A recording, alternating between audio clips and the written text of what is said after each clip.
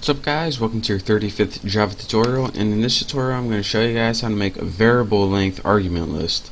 Now I showed you guys how to build methods using uh, multi-dimensional arrays and also how to build basic methods but each time you did you needed to tell it what arguments it took.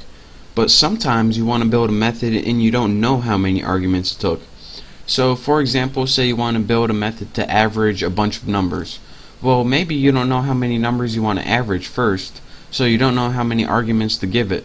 Well, in this tutorial, I'm going to show you guys how to make a method that takes um, however many arguments you want. So let's go ahead and build a method outside our main method. Uh, let's build a public static int since it's going to be returning integers average and I just named it average you can name it whatever you want now go ahead and it's going to take an argument of integers but you don't know how many. So anytime you don't know how many what you do is put an ellipse and that's three dots and then put the name of the variable you want to use. And instead of putting int x, and y, and z you just put three dots and what three dots means is alright I'm going to be throwing numbers in here but I don't know if I'm going to be throwing two numbers, five numbers, or 500 numbers so dot dot dot means just do it and I'm not going to tell you how many numbers so now that we have that, that's a new thing uh, I wanted to show you in this tutorial. Dot dot dot means you don't know how many arguments it's going to take. Let's go ahead and build a simple function. Let's just total um, all these numbers so it starts at 0 since we don't have any numbers yet. Uh, let's make an enhanced for loop. Um, set our variable equal to x and it takes numbers in it and let's just add all those numbers to the total so total plus equals x, so it's going to loop through all those numbers and add them all to the total. So now after that we just need to return um, the average. So return total over numbers the length. So what this does, if you threw uh, five numbers in here, it's going to return total divided by five. If you only threw um, three numbers in here, it's going to return that total divided by three. So number, which should actually be numbers, is what you passed into it, and the length of it is how many values. So that's how that works. So this is our method we just built. Now we need a way to output it on the screen. So go back to your main function so you can run this program and just write system out move my mouse print line and let's just print something like um, average. And then in here in your average method you can type however many numbers you want. 43 56 76 and 8 and let me go ahead and run this and show you guys. The average of this is 45 so that took um, four arguments or four numbers right there. But let's say we wanted to add more. 65 76 2 and 31 let's go ahead and run this does it still work yep Interestingly enough, the average is only 44 for this. Hmm, interesting. So this is what this does. Anytime you want to build a method, this is the meat of this tutorial right here. Anytime you want to build a method that you don't know how many arguments it's going to take, so for example we pass like 4 the first time and 8 the second time, what you want to do is put what type it is, the ellipse, and then you just give yourself a variable that you can work with in your method. So again, that ellipse right there means I don't know how many it is, so I don't have to make it over and over again. So again, we just built the method right there and called it in our main function right there. So that's your quick tutorial on how to make a variable length argument list in methods that you build so you don't have to write um, a new method each time you want to enter a different number of arguments.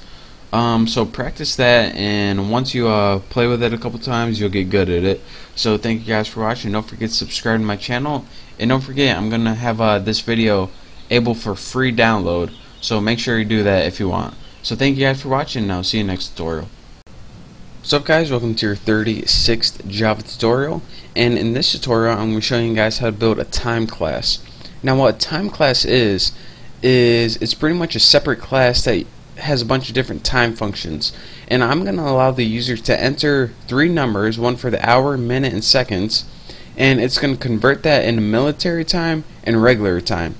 And we're going to be needing this um, information for the next couple tutorials so make sure you build this with me. So first let's go ahead in our tuna class right here. Make sure you're outside your main class. And I'm going to go ahead and build three variables. And they're going to be private variables so not private private same thing right? And uh, make sure they're integer variables one for hour and another one for minute and another one for second. So just copy that because I'm lazy and turn this one to minute and turn this one to second. So now we got three private variables but now they have no value. So what we want to do is give them a value and we're going to do that by letting the user input the numbers so let's go ahead and make a method to do this so public void since it's not going to return anything and just name it set time or you can name anything you want. But this is also going to take three arguments. Int h for hour, int m for minute, and int s for second. So it's going to take three arguments. But we just don't want to let them enter any number they want. Since the hour has to be between 0 and 24, the minute has to be between 0 and 60, since that's how many minutes are in an hour, and the seconds also have to be between 0 and 60. So what we're going to do is check this data before we enter it. So let's put hour is equal to, and instead of just h, let's go ahead and check it. So let's go ahead and write, um, let's just do this. Wow, would you look at that? If hour is less than or equal to 0, and you have to make an and because it needs to meet two conditions and my ampersand is on 7 I put a bunch of stickers on my keyboard for After Effects so now I can't see any of my symbols. I have to look at my um, uh, laptop for it. So and now if hour is less than 24 so if it's between 0 what the heck just happened there? I have caps lock on or something? No just a funky little thing. Uh, alright now hour is less than 24. There we go. Didn't mess up that time. So if these two conditions are met, and the question mark, are these two conditions met? Then hour. If not, zero. And why is this little green bar right here? There we go. Must have been something with my screen recorder. So here's what we're saying right now. If hour is greater than 0 and it's less than 24, then you can go ahead and use that number. If it's not, then go ahead and by default just put 0 so we don't mess up our whole program just because they entered a wrong number. So now we need to do this for minute and second. So let's go ahead and change minutes and change this to M and change this to M and this to M and then go to guess what we're going to do next second and change this to S and this to S and this to S and make sure this HMS uh, matches whatever you put up here and now don't forget to do this. Instead of 24, go ahead and change these to 60. I know, you gotta change all this. It probably would have been faster just to type it by hand, but, well, we didn't, so too bad. So now that we got them to enter a time, and what this is going to do when we call this method right here, they're going to enter three numbers as arguments. So what we want to do is we pretty much set the time right there, but we have no way to display it yet. So the first way I'm going to display it is through military time. So and that's the time where you don't you can use like um 12 to 24. So you'll see what it is later. So public string since it's going to return a string since it's going to display something obviously to make sure I had to spell military right and it's going to take no arguments since it's just going to display and in the body I'm going to return string format. And remember our format takes two arguments. Oh they already put them in for us. How kind. Delete those. Kind but not kind enough. Don't you fill in the rest of it for us? It's gonna take and remember in here you need to put percent and where's my percent sign? Above the 5 O2D colon percent O2D colon percent O2D Make sure I got that right. And what this is going to do is display the first one at two decimal places and then add a colon. Display the second number at two decimal places, then add a colon, then display the seconds at two decimal places. And after that, let's just go ahead and add what we want to put in. Hour, minute, second and now that they're set right here we can display them down here so now just add a colon after that and now we built everything we needed to so now we can go to our main apples method right here or apples class excuse me and we can begin building our objects. Since this was the tuna class we need a tuna object for that. So tuna tuna object and remember you need an object so you can use the crap inside the class. So equal new tuna. And first let's just go ahead and even though we didn't set a time yet we can go ahead and display the military time just to see what it has for default. So system out and let's just go ahead and print line and put tuna object to what was it? To military. There we go. To military. And so we didn't set a time yet.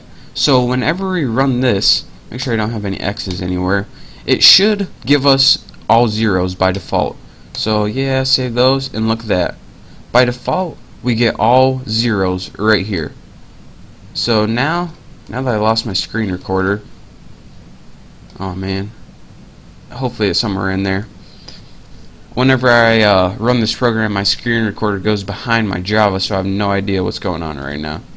Oh, oh well. Anyways, that's really annoying. But anyways, let's go ahead and set the time now. So tuna, hopefully you guys can see this, object, and now we can go ahead and press set time. And of course, this is going to take three arguments, and let's go ahead and press something like um, 13 for hour and 27 for minutes and 6 for seconds. And now, once you run this, system out, well, we can just go ahead and copy this since we're lazy. Copy.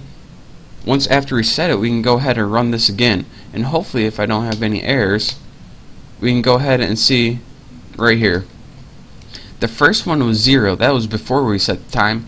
And the second one, when we set the time right here, 13.27.6, what that did is converted it all to military time. And now I can see my screen recorder, but still behind. So now, dude, my screen recorder is messing up. Gotta remember, fix that somehow. So now, let me show you guys what we did. In our set time 13, 27, and 6, we went right here. Pass these in right here. 13, 27, and 6. It checked if 13 was between this. It was. We checked if 27 was between this and 6 was between this. Since it was, it used all the values and set them into hour, minute, and second. And that was when we put print to military, which was pretty much a display method. It pretty much just put them in this format and displayed them out to us, as you can see here. So in the next tutorial, I'm going to be showing you how to use not military time, regular American time, or I don't know what it's called, just regular time I guess. So um, thank you for watching. In the next tutorial you definitely want to watch because we're going to need that information probably for the next couple few tutorials. So again, thank you guys for watching. Don't forget to subscribe and I'll see you next time. What's up guys, welcome to your 37th Java tutorial and in this tutorial I'm going to be showing you guys how to use our time class to convert time to a regular string instead of military time. Since you know not everyone uses military time. Some people just use normal time, like um, 1.30 p.m. So let's just go ahead and I'm going to show you guys how to do that. So we first need to make another method, and I'm going to name mine public, but I'm going to spell it right, eventually. There we go, right there. You got it, buddy. Public string, and let's just name it to string, since this is just a normal string. You can name it like to normal or something if you want, but you know what? I don't. So I'm going to name mine to string and now we got a new method built and what we want to do here is just return a basic formatting string so let's go ahead and return string just like last time move my cursor out of the way format why am I not typing right today and now once we do that it's gonna let us format the string how we want it so the first thing that we need to do is, let me make sure I don't got anything messed up. String format. Looks good. First thing we need to do is give the format we want to put our time in. So for the first one for the hour, we just want percent %d. For the uh, minute, we want percent %02D, so percent 02D, and this is because the minute always has two decimal places. For the second, it's the same one, percent %02D, or 02D, excuse me. And for the AM or PM, we just want a string since it's just letters. So now, for the hour, we need to do something weird. We need to check if it's 0 or 12, then put 12. If not, then put the, well, you'll see what we do. So in here, go ahead and in your, uh, well, just do as I type. If hour is exactly equal to 0, or if hour is exactly equal to 12, then what do we want to do? Well, let's just go ahead and put 12 for that. If not, else, if it isn't, then just go ahead and put hour modulus 12. Let me go slide this over a little bit. Maybe that'll be easier for you guys. So what we're doing here is saying, alright, if that if they put 0 or 12 for the hour, then go ahead and put 12. If they put anything else, then divide it by 12 and give our remainder. So if it's 13, put 1. If it's 8, put 8. If it's 14, put 2. Simple enough. The, the other ones are uh, a lot easier, I promise. For minute, we just need to go ahead and type minute, since we don't need to do anything special with that. Second, just go ahead and type second, since minutes and seconds don't have AM or PM, only um, hours do. So now it brings us to my last point. We need to check whether it's AM or PM they're talking about. And there we go, right there. So, how do we check if it's AM or PM? Well, we need to test the hour, first of all. And if hour is less than 12, then what do we want to do? We want to go ahead and insert AM. Else, if it's not, let's go ahead and insert PM. So that's how we check for AM or PM right there. So now we got our basic two string and we got a little error right there. And I forgot parentheses somewhere right here. I'll find it. I promise I will. I think I did. Oh, crap. This darn screen recorder is in the way uh, let me pause this. Here we go. This was the one I forgot right here. Again when you're doing your hour make sure this one's enclosed right here and make sure the entire thing is enclosed right there. But anyways hopefully I don't have any more errors. Now that we got our basic string to string method built we can go ahead and call it in our main function. So let's just go ahead and right here we called the military one and we can go ahead and copy this and we're not going to use it again I'm just too lazy to type to string so the first one's going to call the military time, and the second one's going to call the string one that we just built. And by default, this is 0, and by default, this is 12. And if you're saying, alright, why isn't this 0, and why is it 12? Well, I'll show you right here. And right here, where we put if hour is 0 or 12, then put 12. And it was 0, so it put 12. Since when you're looking at regular time, uh, there's only 12 o'clock and then it goes right to 1 o'clock. There is no um, 0 o'clock. I don't know if you guys knew that or not, but uh, yeah, jot that in your notebooks. There's actually no 0 o'clock. So now, let's go ahead and quit messing around this crap and do what we came here for. We want to be able to set the time. So let's go ahead and put tuna, actually we probably want to put tuna object. And let's go ahead and use our set time function and we want to enter enter three parameters. The hour, and we'll go ahead and change that to 13, which should be 1 o'clock in regular time. And then for minutes, we'll put like 27, and then for seconds, we'll put like 6 or something. Then go ahead and add a colon, and now we can go ahead and output these two again. And why type them again if you can just copy and paste them the lazy way? That's right, that's what I'm talking about. And now, let's just go ahead and, um, well, let's just go ahead and output it. Simple as that. So here's what we got. Here's our def defaults that we got from last time before we set the time. And then we set the time.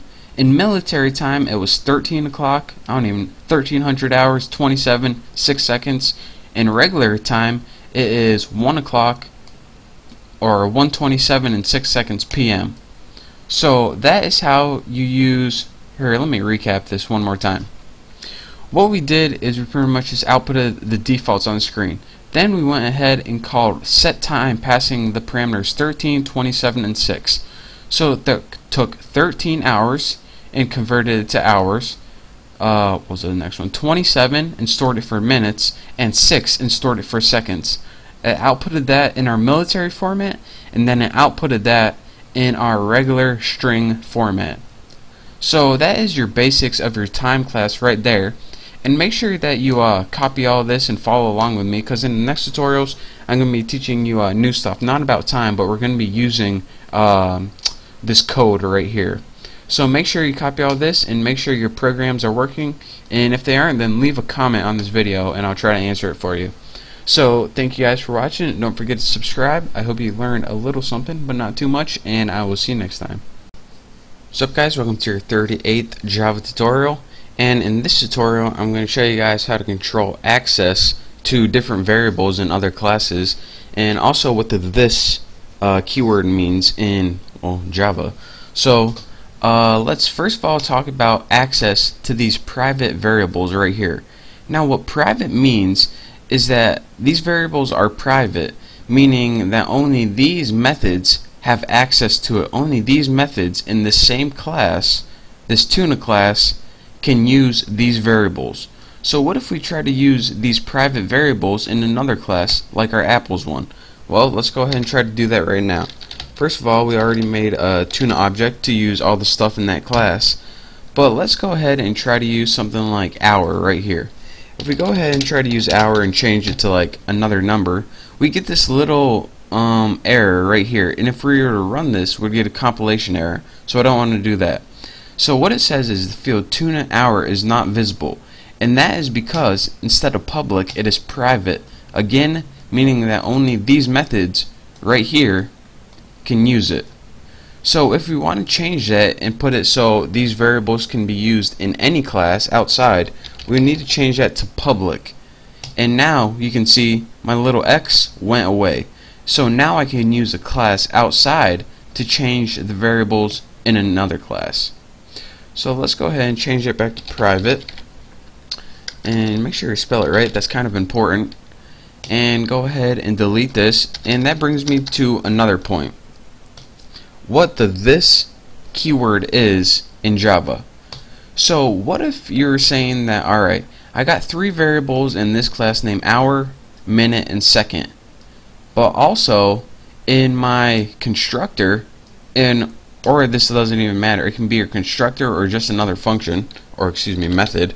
I mean uh, talking about C++ for too long. Changes the hour minute and second. So now we probably need to change these too don't you think? Minute and second. So what if we were to say that these variables in this method inside this class were the exact same as these variables right here. So in other words, if the constructor or any other method uses names or variables identical to instance variables, then what, when you run the program, what's it going to do? Well, let's go ahead and see right now. Um, I guess we don't need this anymore, but we'll keep it anyways. Let's go ahead and run this, and as you can see, we get 1, 2, 3, 1, 2, 3, and then we set the time, which doesn't matter anymore. Then we get 1, 2, 3, 1, 2, 3. So my point is that is this. Anytime you have the same variables in a method or a constructor, which are the same thing, um, you Java looks to these variables, the local variables, instead of these right here. So if we're saying, alright, that's good and all, and by the way, you should never name these variables the same as this. This is just uh, for knowledge, but um, anyways. So what if we want to use that these variables, the 4, 5, and 6 instead? Well, if a method contains a local variable with the same name as the field names right here, then the method is always going to look at the local variables instead. It's always going to look at these instead and that is there is only one way to kind of overpower this and that is to use the this reference to refer to these variables instead so for example you know we had 1 2 3 1 2 3 1 2 3 1 2 3 Well, if we use a little keyword called this instead, then it's going to refer to these variables. So this hour, this minute, and this second.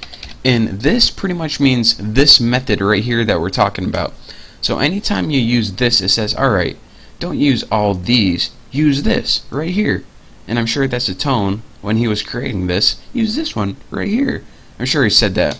So now if we go in our main apples program and go ahead and run it, we now get 1, 2, 3, 1, 2, 3 before, uh-oh, oh, 4, 5, 6, 4, 5, 6. So that is using these local uh, variables instead of these private ones right here. So again, anytime you want to use the variables in your method instead of the variables outside your method, if they're named the same thing, you need to use the this keyword. And that says, alright, use these ones right here, or use this ones, not here, that doesn't even make sense, but you know what I mean. Use them locally instead of far apart. So again, it's easier just to see and play around with it. And once you do, you're going to understand what this means. Wow, that's like a little joke. And anyways, uh, hope you understand at least a little bit. In the next tutorials, I promise I'll be clearing this up for you. It's kind of confusing right now, but um, uh, keep an eye out for my next tutorials. Don't forget to subscribe, and I'll see you next time. What's up guys, welcome to your 39th Java tutorial, and in this tutorial I'm going to be talking about overloaded constructors. Now, you guys already know what a constructor is. It's pretty much a method with the same name as that class, and whenever you create an object, it automatically calls that method or does that method. So, I told you guys how to build a constructor, and I told you guys that you can build only one constructor with the same name as the class. But I didn't tell you guys that you can build multiple constructors, and depending how many arguments you have, it picks what constructor to use. For example, if you called that object with one argument, it would have a constructor for that. If you called that um, object with three arguments, it would have a constructor that took three arguments. So let's go ahead and do this right now. So we first need our three variables, private int hour, and then we need that same thing. Uh, let me put a semicolon instead of colon. We need that same um, variable with minute and second minutes and second. Now let's go ahead and build our first constructor. And we do this by putting public tuna, since tuna is the name of the class, and I'm not going to have any arguments for this one. We're going to do one with zero arguments, one, two, and three. So when you put one with zero arguments, what we want to do is eventually, we want to give it three arguments. So what we do is put this keyword and what this does was is pretty much invoke the constructor again, but give it three arguments this time using 0, 0, and 0. So now we need to build another constructor. So public, actually we can probably just copy this. Copy, we're lazy, and paste. Public tuna, but instead of zero arguments, this one, if they pass in one argument, what are we going to do? Well, if they pass in one number, then let's just assume it's the hour. So we put this hour, so if they passed in um, object 5, it's going to be 5 o'clock, then 0, 0. So now let's build another one, and this one's going to have two arguments. This one's going to have an hour and a minute. So int hour and int minute right there. So now what we want to do is invoke hour and minute, and again what this is going to do is call this constructor again, but pass it three arguments right here. So now you're saying, alright, if we call this constructor again, it's going to look through this one, see where there's three arguments, look through this one, see where there's three arguments, and look through this one, see where there's three arguments. And that's why I'm getting an X right here. It says the constructor tuna eh, eh, eh, is not defined because we keep calling a constructor with three arguments, but we didn't build one yet. So let's go ahead and build one right now. Let's go ahead and put public tuna, and I could have copied that, but int hour, int minute, int second. And if you watch, all of my x's just disappeared. So you see they're now up, and then once we finally build one, it disappears. So now that we have a constructor with three arguments, we can go ahead and build something what it does. In fact, I'm going to build another, I'm going to have it call another method right here that sets the time to hour, minutes, and seconds. And we're actually going to be building this in the next tutorial. Actually, we can probably build it right now. We have enough time. But let me explain to you first what this one does. If a user was to create an object with zero arguments, it would give it three arguments by default, so it can go down here to this constructor. If a user was to enter an object with two arguments, it would go to this one. It would use the first number as the hour, the second one is minute, and the third one is zero. And then it would call this constructor again with three arguments, and the only one with three arguments is this. In hour, in minute is second. And then what this constructor does is set the time in a set time method. And you're saying, alright, where the F is that method? Well, we're going to build it right now, so take it easy. Let's go public void set time and as the arguments again what we want to do is take three parameters int h int m for minute and int s for seconds. Now in the body scroll up a little bit. There we go not bad. In the body what do we want to have to set the time? Well actually we're going to be building three um, methods for this as well. And I know it gets confusing but set hour and this is going to take an hour. Set minute and this is going to take a minute and set uh, second. And this is going to take a second parameter. And now once you close this it says um, the method set minute is undefined. And we're actually going to build three I mean let's see six more methods I think. Um, we're going to build methods for setting each of the times. And why do we need a new method for set hour a new method for set minute and set second well we can't just have any hour they type in um, we need to build a method for it like last time where we set the hour we had to check if it was between 0 and 23 or 24 and set minute we need to make sure this is between 0 and 60 and also for set seconds and we're also going to make make another method for get method, I mean uh, not get method, for get hour, get minute, and get seconds. And that's just going to return everything. But we're going to be doing that next tutorial. But if you don't, still don't know why um, I'm having sef separate methods for these, it's so only these methods can access the hour. And down here, as I said in last time, we don't want any other class to have access to this information right here.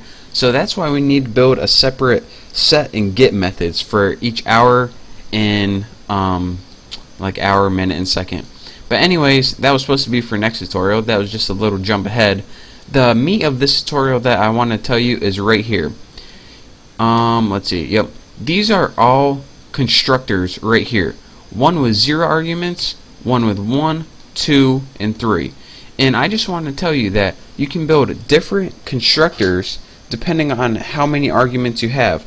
That way, um, you don't really need the user to enter one specific set of information. It varies, and then depending on how much information they entered, it does a certain task. So, um, if you don't understand this, I promise in the next um, either one or two tutorials, this will make all sense once we finally build our program and you can see what's going on. But thank you guys for watching. Make sure to write this code right now. And again, like I said, by the end of these tutorials, you're going to understand why we did it and how this all works. But for now, thank you guys for watching my tutorial on overload constructors. Don't forget to subscribe to my channel. It is the best channel ever. Again, thank you guys for watching, and I'll see you next time. What's up guys, welcome to your 40th Java tutorial, and in this tutorial, we're going to be building the set hour, set minute, and set seconds methods. Now, we already um, got the data from them, the data that we need in the last tutorial, so hopefully you watched that, because you need this code anyways. But if you did, and typed everything up, then that's good, you're good to go. So let's go ahead and build first the set hour function, or excuse me, method. The same thing as a function pretty much. I just been uh, around C++ all day, so anyways, public void since it doesn't return anything, and set hour, And what argument does this take? Int h. It takes just the hour, since again, we're only setting the hour, nothing else. Now, in this, what we want to do is check if the data is between 0 and 24. And if it is, it's valid. If not, we're just going to set it to default like 0 or something. And by or something, I mean 0. So, let's take that hour, and first, let's make a simple if statement. Is the hour greater or equal to 0 and where's my and 7 right there again I put stickers on my keyboard so it's kind of annoying. And is the hour less than 24 you're gonna say alright if that is true then you can go ahead and use the hour. Else if it's not true go ahead and put 0 so again this is a conditional expression or um, it's pretty much just the same as an if statement.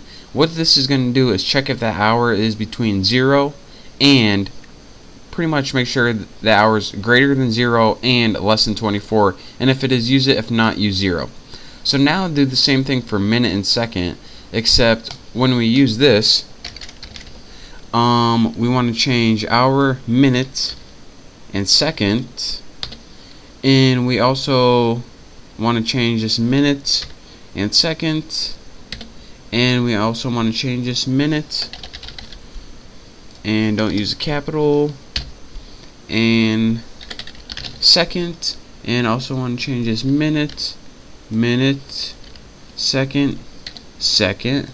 And instead of having let me check this uh, data real quick. Minute minute minute minute minute. Instead of having 24 you want to change these to 60 since with minutes and seconds it doesn't need to be between 0 and 24 it needs to be between 0 and 60 so that's why we do that so now that we got our hour minute and second built what's this say right here? Duplicate method second hour and type 2 that's good. We're good to go. Um, hour minute second.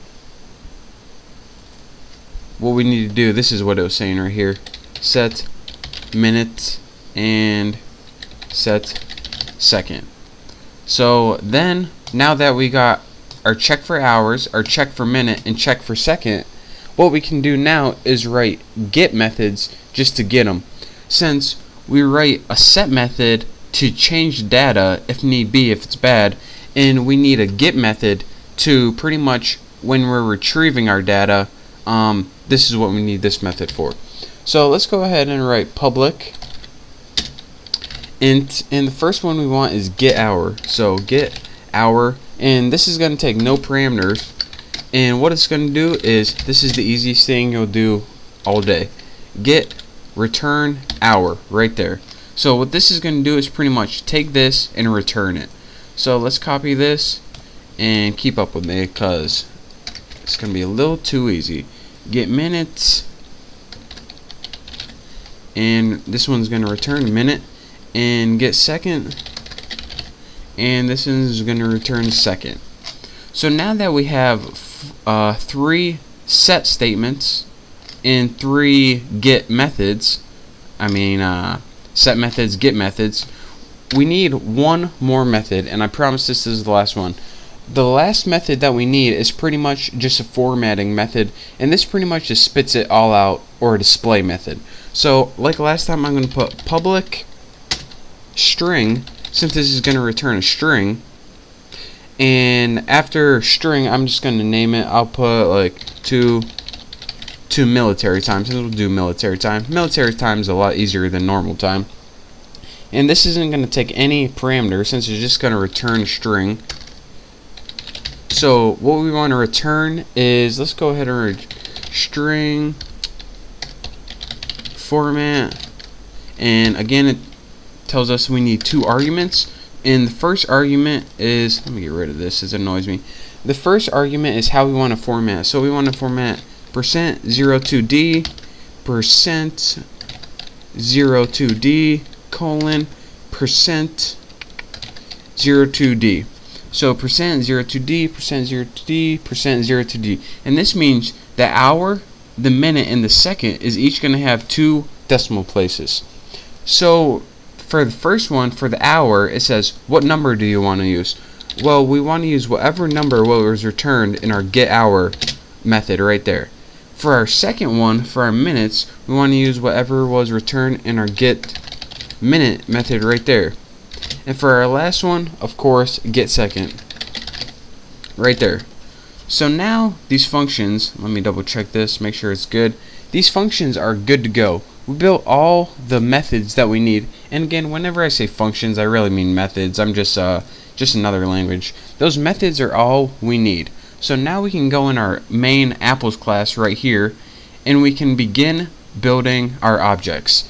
Now again, whenever we're going to go ahead and create four different objects because we had four different constructors and actually I'm going to be doing that in the next tutorial so as you can see we have one constructor two one two three four so in the next tutorial I'm going to be building four different objects each to use these constructors in four different ways and then I'm going to be summing up and telling you how this whole program works and actually what the heck we just did and then you're going to understand it awesomely. So thank you guys for watching. Don't forget to subscribe and I will see you next tutorial. What's up guys? Welcome to your 41st Java tutorial. And in this tutorial, as promised, I'm going to be building four different uh, objects. And these objects are going to use this tuna class. And depending on how much information they have them, they're going to use a different constructor for each one. So let's go ahead and do that right now. So let's get some spacing right there so you can see it good adjust my headphone and bam I'm good to go so in order to make objects let's go ahead and name this tuna object and we'll set uh, this one equal to new tuna. And this isn't going to take any arguments at all. So if we go look in our tuna class right here and you know that it has no arguments because nothing's in here. We look at which one of these constructors has no arguments. Well, this one has an hour, this one has an hour and a minute, that's two numbers. This one has three numbers, but this one right here has no arguments right here. So what it's going to do is insert three arguments and call this constructor again. So then it's going to go down here where this one takes 0, 0, 0. It's going to set the time to 0, 0, 0 and then set the hour to 0 and minute to 0 and second to 0. So now that we have that, let's go ahead and build some more objects, but this time let's give them different parameters, or different arguments. So let's go ahead and copy this, and paste, paste, paste. And we'll name this tuna object 2, 3, and 4. And we'll give this one, tuna object 2, we'll give it one parameter. We'll give it an hour of 5. We'll give tuna object 3 two parameters. We'll give it an hour of 5 and a minute of 13. And we'll give tune object 4 an hour of 5, minute of 13, and seconds of like 43 or something. So for example, this one right here, it has two arguments. So it's going to look at this constructor right here. Is this constructor good for me? No, this has zero arguments and I got two. So I'm not using you. What about th is this constructor good for me? Well, I got two numbers and this one only lets me insert one. So uh-uh, I ain't using you. What about this one? Well, this has three, and I only got two, so I don't think so. Oh, bam, the last one's just right. I got two, you got two, let's use it, baby. So that pretty much uh, what happens with these objects. That's what's going on right now.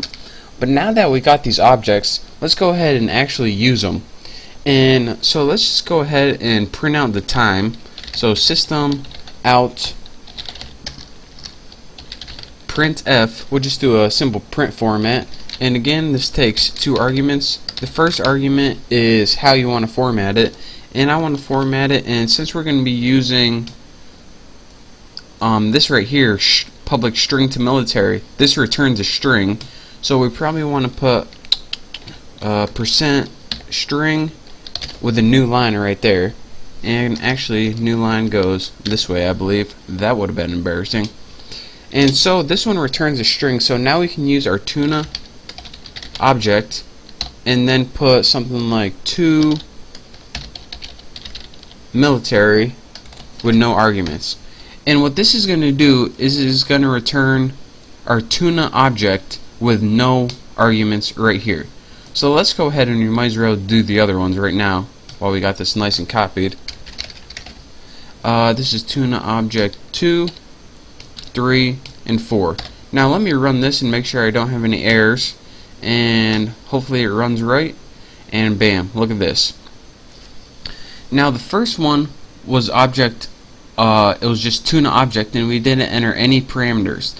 The second one we entered a 5 for the hour and it filled in 0 for the rest.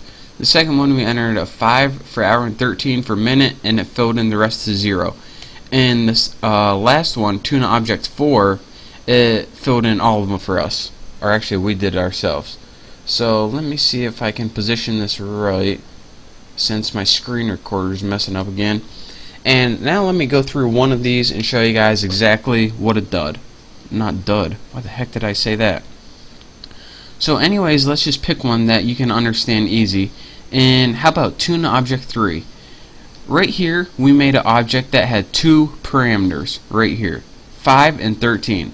So it went to tuna, where it creates everything, and it went to our constructors, and it says, alright, which one of these constructors has two arguments? This one has two arguments right here. So I'm going to use this one. This one has 0, 1, and 3. So I'm going to use this one that has 2.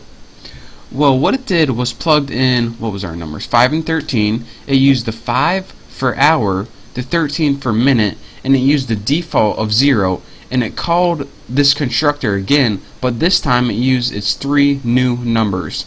So whenever you use the three numbers, it it uses this constructor right here. And what this constructor does is set time. It calls the set time method. So now it says, alright, I'm going to send you to the set time method. So let's scroll down and see what the set time method tells us to do. Well, it tells us to do three more methods right here. Set hour was pretty much check if it was between 0 and 24, which it was. It was 15. I mean 5 set minute checked between 0 and 60 which it was and set second that was that 0 it plugged in for us. Um, that we didn't have to do anything for that. So then we said alright we're good there. So then when we finally called um, the to military uh, method what did it do? Well it pretty much just said alright we want to use this method for that object right here. So what we're going to do is get that hour which was 5 get that minute which was 13 get that second which was 0 by default. And I'm just gonna return them all to you in a nice pretty looking string format right here. So that is why whenever we called this to military it just outputted the string right down here. 5130 so that is of course um, a very complicated way but again you need to know it on how you can use overloaded constructors to, let me scroll down here, to make a bunch of different constructors based on how much information you enter. And in that example I just told you since we entered 2 it picked this constructor. And that is how you can pretty much um, use different objects with different amounts of information in it. So um, this will be clear when we be when pretty much we're building um, more programs and this was just an example so it might be a little fuzzy right now but you'll understand eventually in the next couple tutorials. So thank you guys for watching.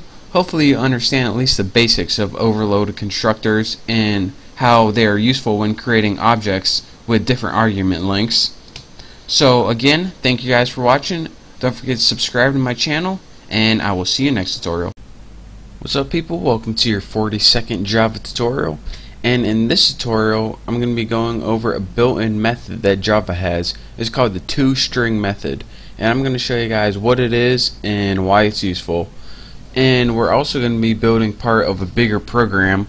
Um, this is probably going to be a two-part tutorial so um, pay attention and it's going to be sweet. So the first thing that we're going to need to do is get three um, variables.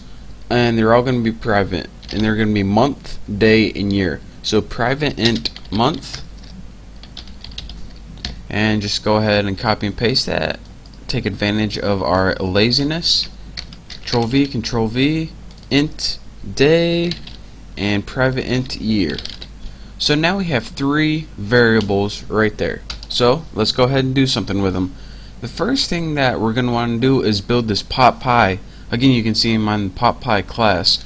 So I'm going to build the PotPie constructor So go ahead public and just go PotPie. And it's going to take three arguments. It's going to take int m for month, int d for day, and int y for year. Again, you can name these anything you want, not important. But remember to set your variables, which were your private variables, like month, equal to whatever you uh, corresponding letter. I just put MD and Y for obvious reasons. So that private day variable is going to be set to whatever we pass in for D and that private Y is going to be set to whatever we pass in for Y. So now we got our constructor, but we want our constructor to do one more thing. We want it to print out a string. So, and we just want it to uh, print out so it can know, so we can know that our constructor worked or didn't work make sure you put an equal sign right there. So let's go ahead and system out printf. We can just uh, print format and I already started filling them in for us. So let's go ahead and print out a string. So let's put um come on Haas. Let's put the structure make sure you spell it wrong for this is and then we'll go ahead and put percent %s and that means string and then go ahead and put a new line. If you feel like it if you don't feel like it you know you don't gotta. And now as you can see right here our C style format it takes one string um, argument. So in our second argument just go ahead and write this.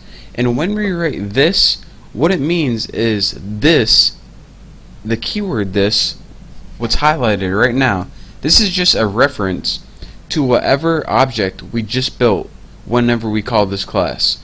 So it's going to say, alright, then what the heck do you want me to put for a string? Well, that's what we're going to be going over in this tutorial right now. Anytime that you need a string representation of an object, Java built this thing called a toString method. So let's go ahead and write public, and we're going to be building that right now. Public string to string. And I know most of, most of the time you can call your methods anything you want, but you can't. You have to say to string in this case. And go ahead and it takes empty parameters and in your body of your method go ahead and return whatever format you want.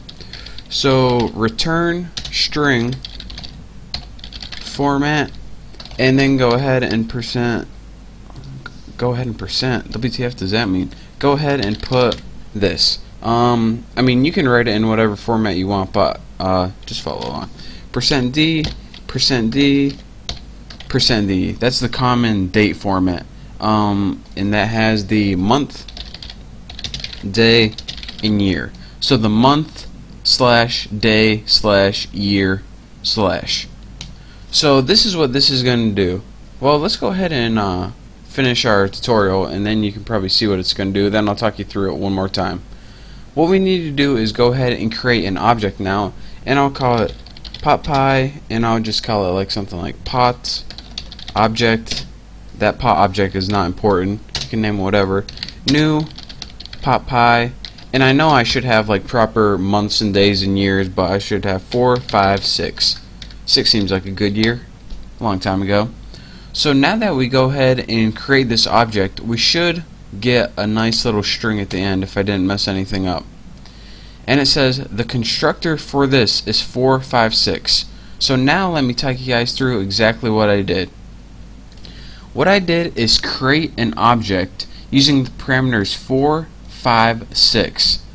So let's go ahead and look what happened when I created that object. It said, alright, since the first thing I'm going to do is this constructor, I'm going to pass the parameters 4, 5, and 6. And for month was equal to 4, day was equal to 5, and year was equal, equal to 6. What the constructor also did is say, alright, every time I create an object, I want you to print out this string. But we had in the string variable, instead of an actual string, we had a reference to an object and anytime you reference an object and it needs something in the string format it looks to this method right here what this method says is anytime you need a string representation of this object you look to me. I'm toString. I'm built in Java. That's what I'm for. So that's why it outputted this right here. The constructor for this is 456. This is where that format 456 comes from right here. And in the next tutorial, if this seems uh, kind of confusing, I'll show you guys a useful way why toString is actually used and not only, you know, it might be a little confusing to understand. I mean, this is just an example. It doesn't really do anything. But in the next tutorial, I'll show you guys um, like one example where we would actually need it and use it. But for now, hopefully you get the main idea. Again, the key points is um, the probably two things you're going to be confused upon is this. I mean, what's highlighted right now. Anytime you use that keyword, this, it's a reference to the current object. So it's going to say, alright, just reference the current, the current object. So it implies that it needs a string. So since it needs a string, it says, alright, I need a string here. It says, oh, I see. That's why he gave me this toString method. So anytime I need a string, I know where to look. So, makes sense. And if it doesn't, it will in the next tutorial. But for now, thank you guys for watching. Hopefully you understand the basics of a toString method and don't forget to name it toString. That's very important. So again, thank you guys for watching and I'll see you next tutorial. What's up guys, welcome to your 43rd Java tutorial and in this tutorial we're going to be building the rest of our program and I'm going to be teaching you guys about something called composition. Now what composition means is that it means that a class, and this is the one we're going to be building today, instead of just variables and methods, it can also have references to other objects for other classes. And it could, uh, well, I'll show you guys what it means. So go ahead in our tune class. Again, in the last tutorial, we, we built this PotPie class. In our tune class, just clear everything out, and we're going to have two um, members for now. Go ahead and type private string, and this is a new one, name. And that's gonna be used just to store my name or something. And we're gonna also have a reference to another class the PotPie class. So go ahead and type private PotPie and type birthday. Since this program is just gonna output my name and the birthday but it's gonna do it in a cool way so now that we have two members of this class right here we have a new name variable and we have a reference to a PotPie object or uh, object. So let's go ahead and well let's use it. So the first thing we want to do is build our constructor. So this class is named Tuna so we have to name our method Tuna and that's constructor. What this constructor is going to take is two arguments. It's going to first take that string variable that we have and we'll just name it the name so we don't forget. And we also want a reference to our PotPie date object. So let's go ahead and put PotPie and let's go ahead and write the date or you can write the birth date or something like that. And now in the body of our constructor let's just go ahead and set name uh, set it equal to the name and let's go ahead and set birthday that we declared up here and set it equal to the date. So now we are in sync, we are good to go. But what we want to do now is go ahead and make another toString method. So let's go ahead and put public string to string. And just like we did in the PotPie class, in this um, method. It's going to take no arguments. And for the body we want to return a string of course. So string format. And for a format I don't really like when it fills it in for you you know I want to do the work myself. And in our format just go put uh, my name is percent %s and that's gonna fill in your name. And then let's go ahead and put my birthday is percent %s and here's where it gets kind of tricky.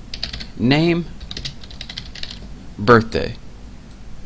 So now, if you guys can understand the next thing I'm about to say, you'll understand um, the next thing I'm about to say. Huh, sounds easy enough, but you'll understand the key concept of this tutorial.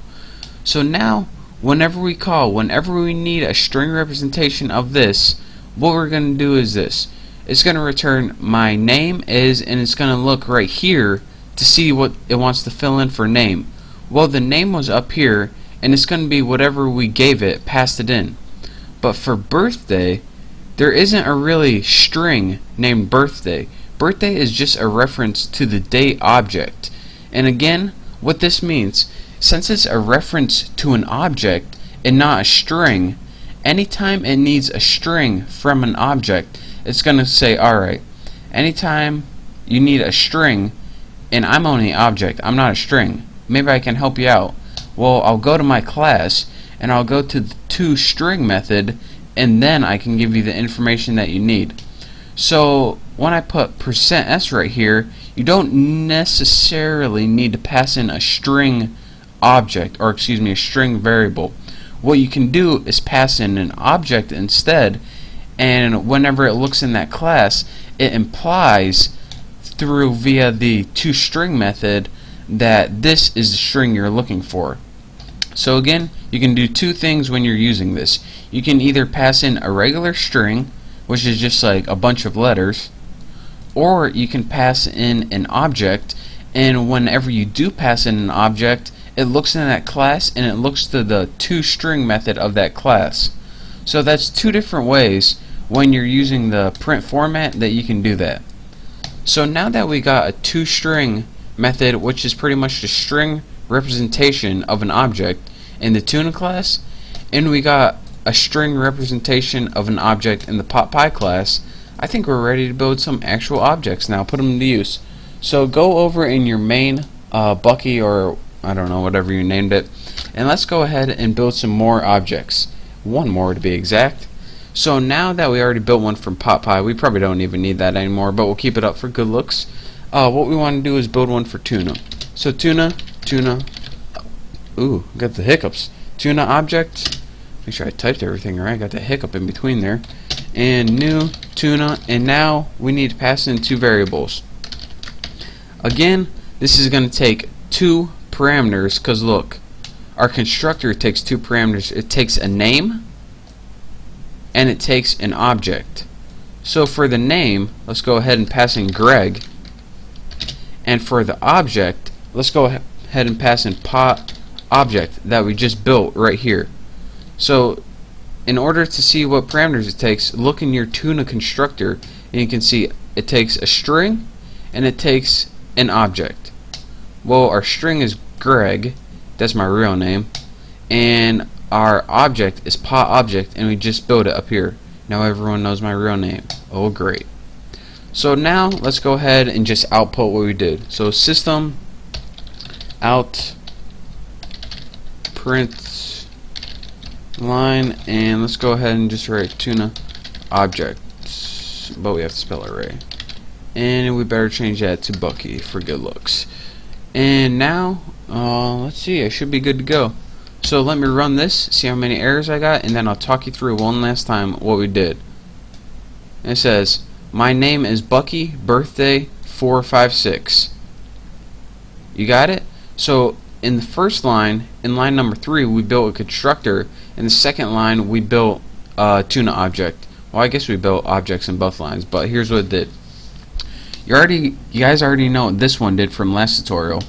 In for the tuna object, when we built it, in the um, constructor, we passed in two arguments: my name and this object right here. It took the name and set it equal to name, and it took the object and set it equal to birthday and then it says alright just return it in a string format well my name is Bucky easy enough my birthday is this object? And it says alright how am I going to turn an object into a string? Well anytime I want to turn an object into a string I just go to that class and go to the toString method. So again I'm going to repeat it. Anytime you want to turn an object into a string it looks to that class in the toString method. So that is your quick tutorial on what the toString method is. And also um, again like I said this is called composition and that's referring to objects um, let me show you guys. That's referring to objects in other classes as members. So this was composition right here. So thank you guys for watching. Let's see how much time I got. Oh just in time. So thank you guys for watching. Uh, make sure to check out my next tutorial. Get out of my White House. And uh, make sure to subscribe to my channel because you know it's the best channel ever. So I'll see you later what's up guys? It's Bucky. Welcome to your 44th Java tutorial. And in this tutorial I'm going to be going over something called enumerations or enum. Uh, we learned about them before I think. We might not have. If we didn't you know no big deal. We're about to learn it today. But the first thing that we're going to do well let me tell you what uh, enumerations are. They're pretty much kind of like classes, but they you're going to use them to declare constants, at least in this tutorial we are.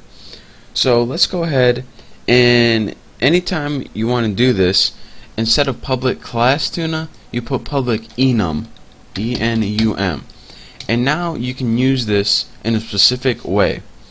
So like I said, the first thing we're going to want to do is declare a bunch of constants of the enum type. So let's go ahead and make some constants. Or these are pretty much going to be like variables that never change. So I'm going to make like three names, Bucky, and these are in essence objects. So let me give these a few parameters and then you'll see why later on. Um, Bucky, let's uh, give the first parameter a description word of the object and I'm going to put nice since you know I'm doing this tutorial might as well say something good about myself and then let's just go ahead and put a string about like um how old they are or something. I'll make it interesting for the other two ones. Now let's think of a next person. Let's think of uh we'll do constants of my first girlfriends. So my first one was Kelsey and she was she was a cutie. It was it was fifth grade. She was pretty cute. And uh let's see, when I went out with her I was ten years old and now I'll put a comma because we're not done with our entire enumeration list and then the next girl I went out with was well it wasn't really a girlfriend but uh, we had a thing. It was Julia. She was uh she was a big mistake and I was 12 years old when I went out with her. So now we're done. We got three constants. Let's go ahead and end this statement with a semicolon. Now what we're going to do since we just made objects and again each constant is an object and it's going to have its own set of variables in this entire enumeration. So let's go ahead and give it two variables that we're going to use later. Um, private final since we don't want them to change string since that's what we just made since we're in quotation marks.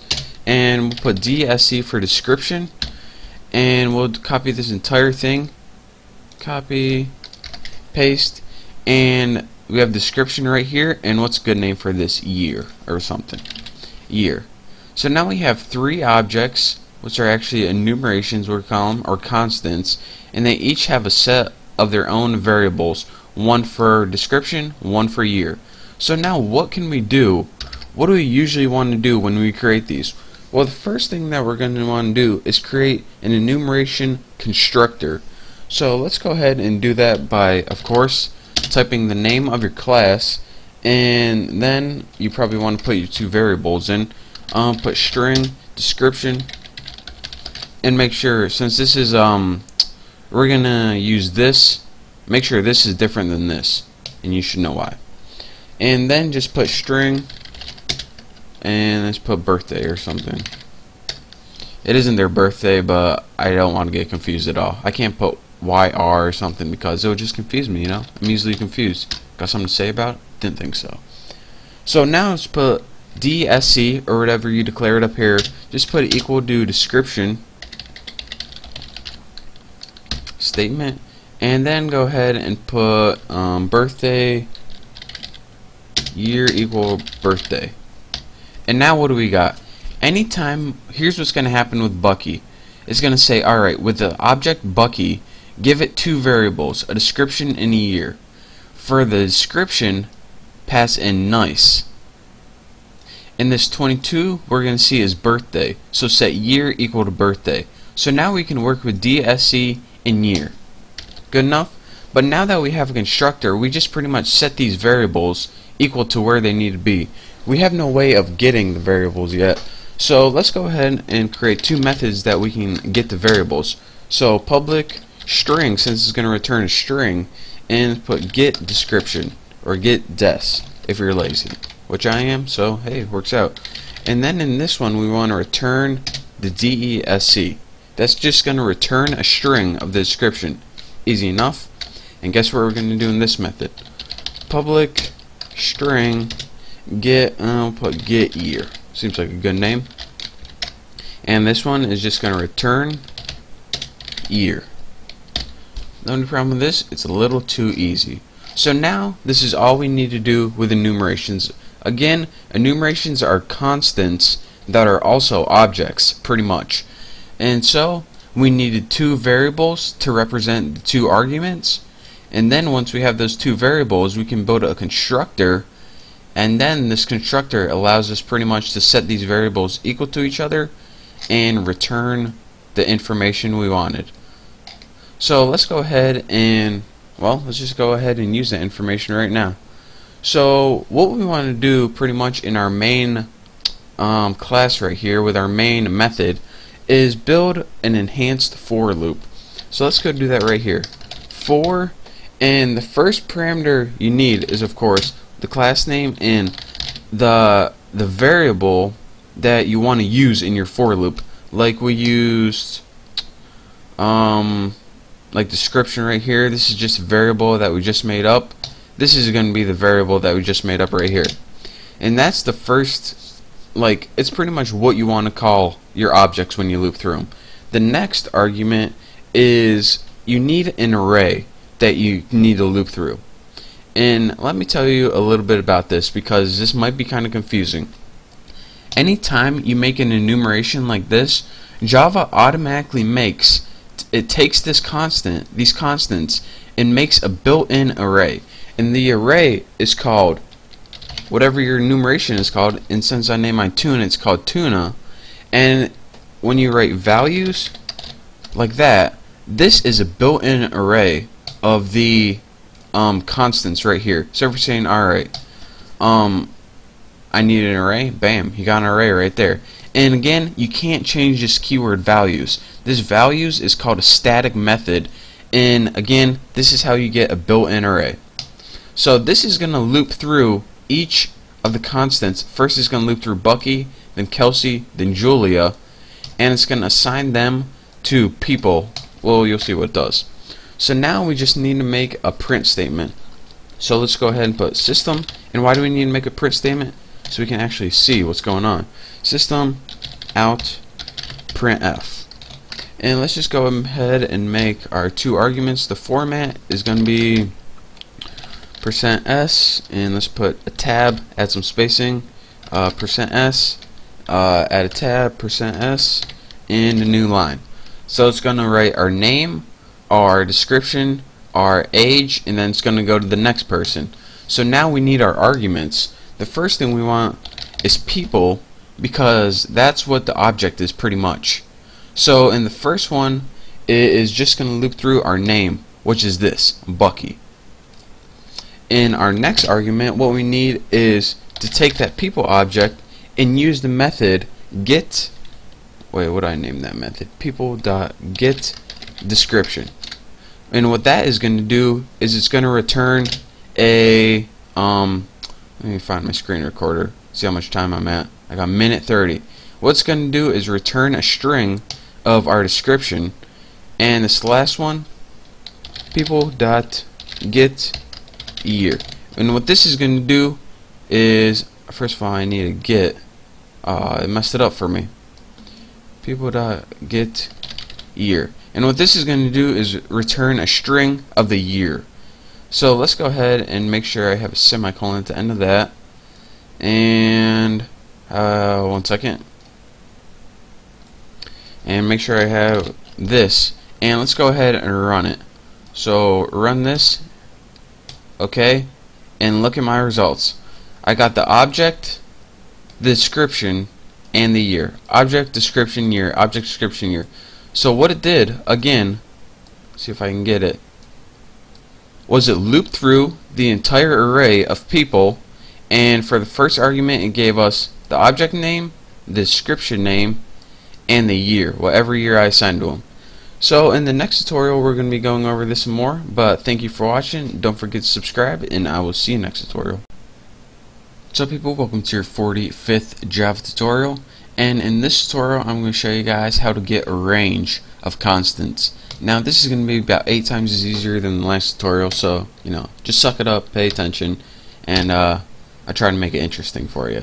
So since we need a range of constants, and we only have 3 right here, it's not going to be very exciting, first of all.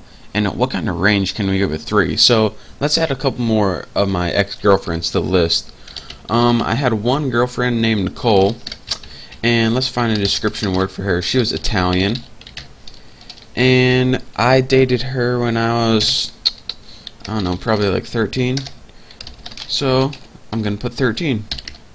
And don't want that semicolon. And my next girlfriend after this, I would have to say, is Candy. This is when I moved to my new school. She was my first girlfriend. And let's say she was, um, let's put this nice. She was different. And um, let's see how I was in eighth grade. So what's that? 14? Maybe I'm wrong, but you know, we don't have time to think. We just have time to do.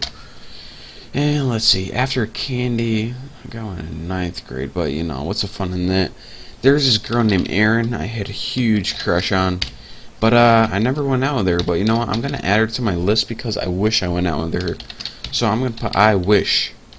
Because, you know, she's like the one that got away. And I had to be like 16 by the time. I had a crush on her for a long time. Erin, what could have been? Oh, anyways. So now we have a longer list of constants right here. So what we can do now is go back in our main method right here and we'll just keep this one right here. This is what we did in the last tutorial. But let's see. Let's go ahead and make a new line under this for loop. I mean, we might as well keep this for loop. It's not hurting anything. And in case you're just joining us, this for loop pretty much printed out a uh, list of all the constants. So let's go ahead and just print out a line so we can separate this for loop from our other for loop. So system out, did I spell system right? System out print line. And let's just go ahead and print something like um, new line, new line. Whoa, whoa, whoa! What's going on up in here? All right, let's just put and now for the range. The hit caps locks. Embarrassing. Of constants. So now we pretty much got this for loop right here and we just got a line saying and now for the range of constants. So well we just want to be able to see it, see it easier. So now let's get to the meat of the tutorial. And this is an enhanced for loop to go through the range instead of the entire thing. So the first thing that we're going to need to do is at the beginning of our class before our class we need to import something. We need to import the enum set class.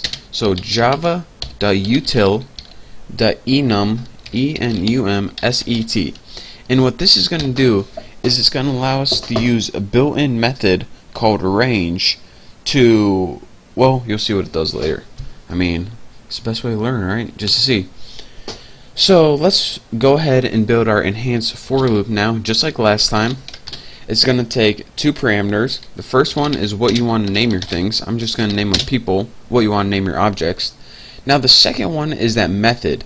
Now we could just plug a regular array in here, but we want to have a range of the array. We want it to start at, let's say, Kelsey, and we want it to end at Candy. So, I mean, we can start and end anywhere. So, whenever, like I said before, Java automatically gives you an array of constants in the order that you did them in. But in order to get just a specific set out of there or range, what you need to do is this. Enum set period range and the range is the method and it takes two parameters. From is the first one so let's just go ahead and write tuna which is the class Kelsey and what's going to do is look at tuna class and find this first constant Kelsey and that's going to be your starting point. And for 2 let's just put tuna dot candy and let's just go ahead and show. So now we have Kelsey to Candy and everything included. That's what that does. It gives you a whole new array. So now once we have that we can pretty much just copy what we have up here. Copy. Thank you for that. And we'll paste that out here. And so now instead of an entire array which was tuna values we have a specific set in the array which goes from all the constants from Kelsey to Candy so now let me run this and see what we got. Let me nah, I won't expand it. What's the fun in that? So now we have our first array right here that has all the information Bucky to Erin. That was the entire array. And then we says our line.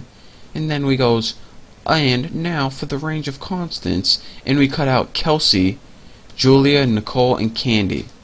So using our enum set class and the method in that called range we were able to pro provide it with two arguments where we wanted to start and where we wanted to end and this entire thing right here it gave us a new array so instead of looping through the old array we're able to loop through this new and improved array to get only a specific set of data. So that is your quick tutorial on my former love life and also um, how to loop through a specific range of an array using this range method right here. And again, don't forget to import this class or else you're not going to be able to use it. So thank you guys for watching. Now you know all about enumerations, constants, and how to loop through them and all and whatnot. I know, how exciting, right? So in the next tutorial, I don't know what we're going to be talking about, but I promise it's going to be awesome.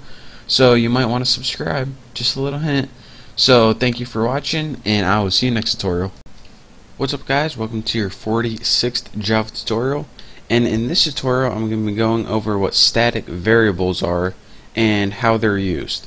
So usually, whenever you have a class that has objects, each of the variables um, each object has its own set of variables like first name and I can make um, an object called Bucky and it would have its own first name Bucky and I could have another object named Tommy and it would have its own first name of Tommy but sometimes you want all the objects to share a single variable for example if you're gonna make members of a club and you're gonna like have the club count how many members were in it for example if I was in the club, it would be one. If Tommy was in the club, it would be. If me and Tommy were in the club, it would be two. If me, Tommy, and Megan were in the club, it'll be three. And we each don't need to see that. We each don't need an updated variable or a separate variable for three, since the members in the club is all the same. So, for example, there's some variables that you just can share, and you're saying, alright, why don't you just write a separate variable for each object and update it? Well, that takes a lot of time and space, so um, you'll see what static is by the end of this tutorial, and it's one of the most useful things that I actually taught you so far, so listen up. In this tutorial, we're going to be building a club, of course, and the club is going to be of hot girls that I would like to go out with. And yes, they will be famous. And no, I will never go out with them. So let's go ahead and make a couple uh, regular variables first. For each object, it gets its own private string. And let's go ahead and put like first for first name. And then go ahead and put private string and last for last name. And now we need to give them a variable that they can share. So go ahead and put private and put static. And that static keyword means that every um, object shares the same variable. So when this one changes, it changes the all objects. And before, if you change one object's first name, that only that object's first name changed. But when you change a static variable, they change with all objects. So if I change this to 4, then all objects would see 4. Got it? Good.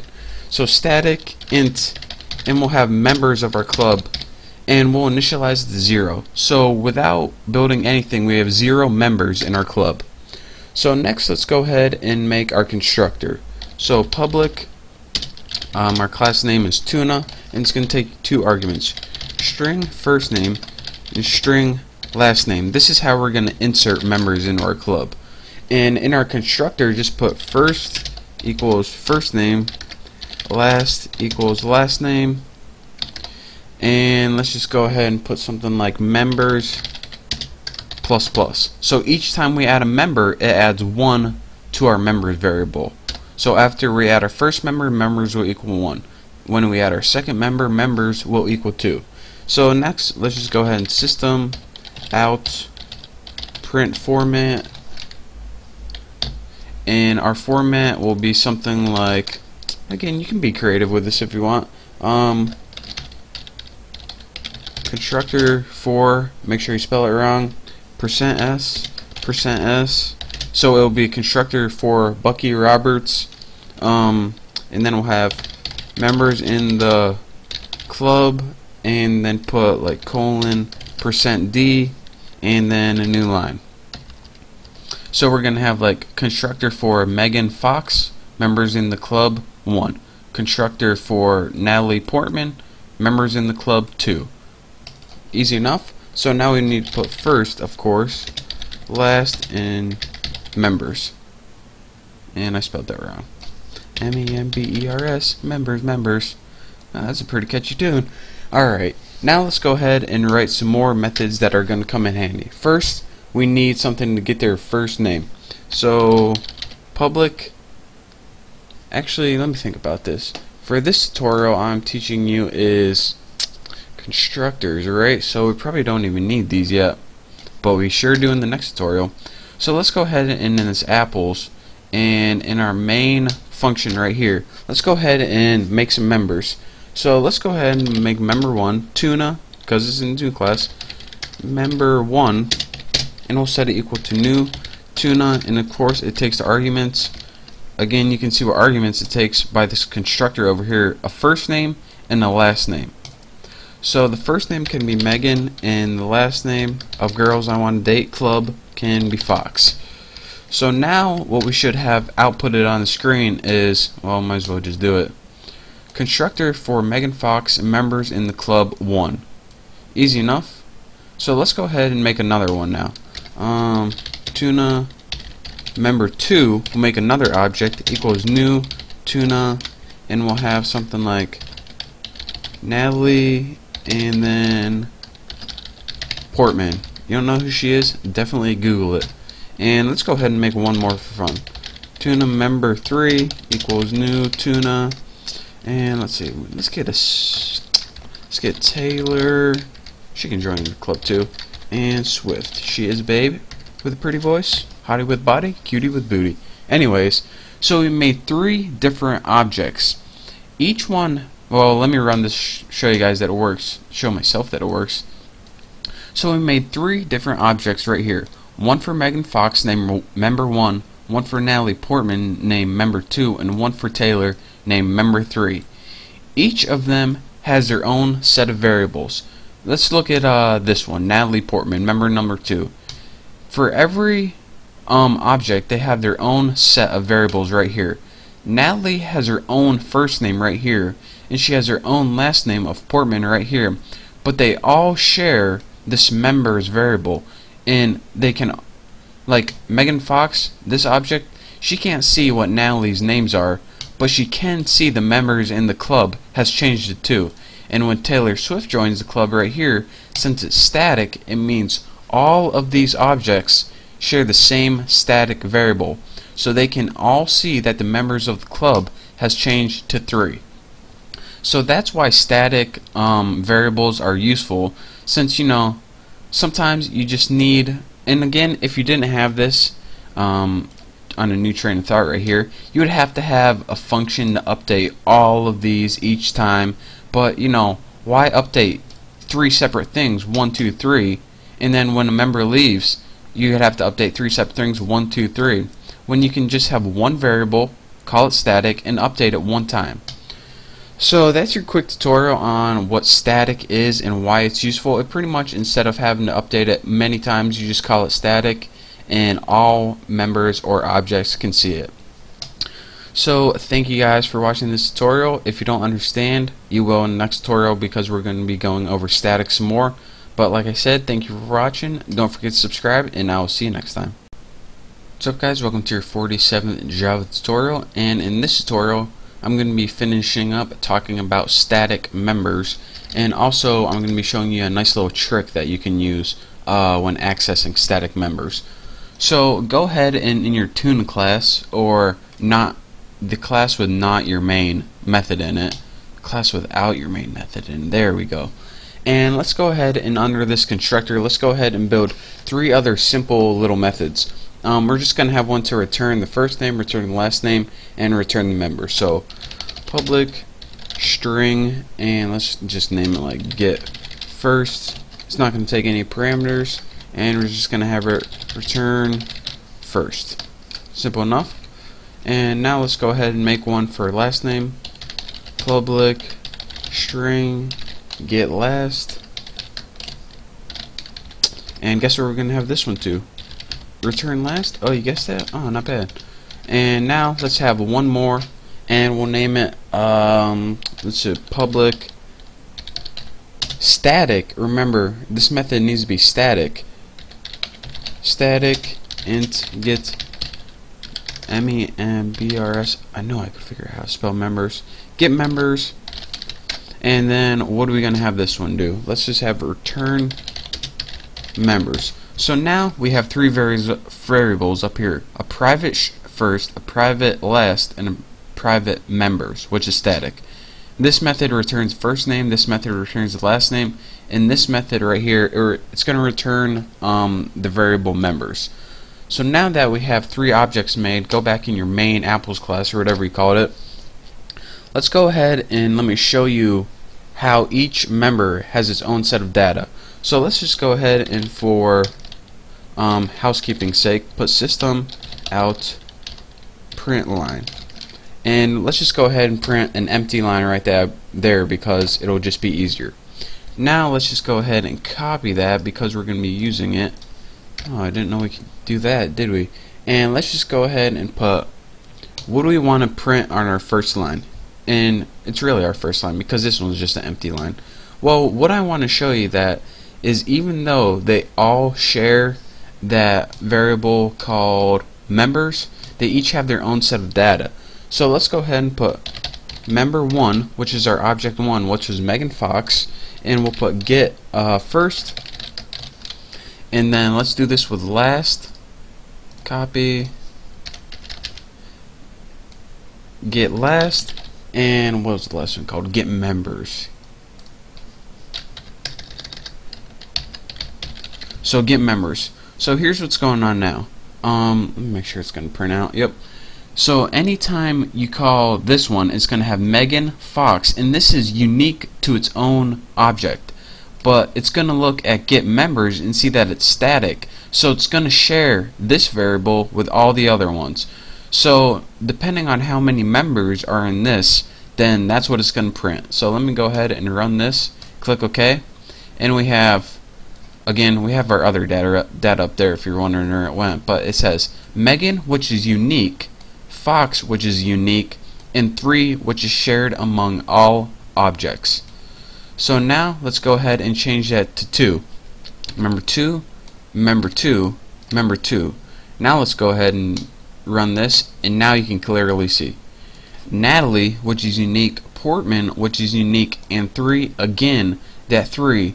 And that 3 is because this private static int. Static means, alright, this variable is shared between all objects. So we don't need to, you know, why would you make a separate variable if it like let me think how to put this. Why would you make a separate variable that is going to be unique that we're going to have to update in every object if it's the same value no matter what object it is? So I mean you don't need to. So we're not gonna so that's where static comes in handy and now let me show you that trick I was talking about um, since the variables static variables don't change between objects Static information is, avail is available even when you don't have an object. So, for example, say forget about all these objects right here. And we actually can't just delete them, but we'll delete these right here. And we can just add it in this print line, really. Instead of calling a separate object, like an object and then your dot separator and then your method, like that, what you can do with stack is just put the name of the class and put your dot separator and then put your method. Get members like that. Now let me run this and you can see the three right here. Can you guys see that? The three right there so before we were never able to do this. We had to get an object and build an object anytime we wanted access to any of these members or any of these methods right here. But with a static it's a little bit different because it's not going to change from object to object since no matter how many objects you have the variable is the same. So that's why Java lets you instead of having to have an object which you can do by the way what we just did you can also just put the class name and put the static method ahead of that. So again anytime you have a static method that uses static variables um, you don't have to have a separate object. You can just put the class name and then you can just put the method. And that's how like in um stuff like math like math functions and math constants um, that's how they do that. So that's just a nice little tidbit of information. So don't forget that um, static variables are shared among all objects and that you don't have to access static um, methods with a specific object. You can just do it with a whole class since it's the same. So uh, thank you guys for watching. I think I confused you enough for today but uh, like I said thank you for watching. Don't forget to subscribe and I will see you next tutorial. What's up YouTube? Welcome to your 48th Java tutorial and in this tutorial we're going to be going over um, instance variables with the final like when you have like public final or private final int um, that's what we're going to be going over so unlike static, um, I'm going to be showing you guys what final means. So let's go ahead and in your tuna class right here, and this is the one that's not your main. Apples is, has my main method, so go into another one. I name my tuna. You can name yours whatever you want as long as it's a fish. That's key. It has to be fish or this program won't work. I'm just kidding, but you know, just a little joke. And let's go ahead and the first thing we're going to want to do is make um, a variable that's going to be private as well. But you got to spell it right. That's key. Private. There we go. I know I'd get it eventually. Int sum. And what this is going to do is hold the sum of our numbers that we're about to add up. Now let's uh, like begin the tutorial. What we want to do now is make a variable with the type final. So private final and it's going to be an integer variable and I hit button there. Embarrassing. And let's just name it number or something. And um, go ahead and put it in caps because it's going to be a constant so we know that the constants are in caps. K k. There you go. K k. That's how you can remember it so now the key or what final is is whenever you write final in front of a variable or a constant it means that you can't modify this no matter what. So we just declared it. Whenever we set it equal to something, whatever we set it equal to, we can only set it equal to it once. So if we put number equals 2, then that number is going to be 2 for the rest of your life. You can't change it no matter what. But another thing is we declared it right there, but we didn't initialize it, which means we didn't set it equal to anything. So we're going to have to do that in our constructor. So again, you can either do it right here or you're in your constructor. So let's go ahead and make a constructor. Put public tuna and just put int x. Uh, this is going to be a temporary variable. And then put number equal to x. So whatever we pass in for our argument, that's what number is going to be equal to. And again, don't mess it up because um, you can't change this. You can't later in your program write, alright, we're set it equal to 2 here, but we're going to set it equal to 15 later on, or 18, or 32. You can't. You can only set it equal to something here, and it stays like that forever. Now let's go ahead and build another method. So let's go ahead and write um, public void, make it called add, because what's it going to do? It's going to take that sum that we have up here, and it's going to be 0 default, and let's just add the number to it. So again, the sum variable is going to change, but this number is always going to be like 10 or whatever we say it is. And now let's just build one more method so we can actually see what's going on. Public string toString So again, you learned what toString method did last time. Whenever you need your object in string format, it returns it. So let's go ahead and return string format and oh, it already started filling out for us.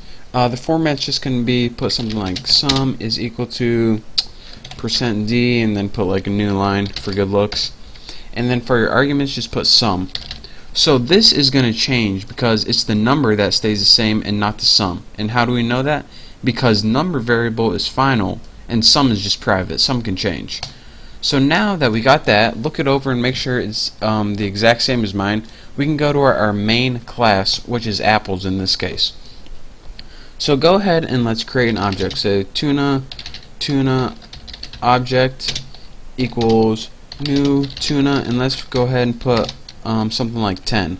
So now what this is going to do, since we passed in 10 to our constructor, it's going to take 10 for x, put 10 for x right here, and set number equal to 10.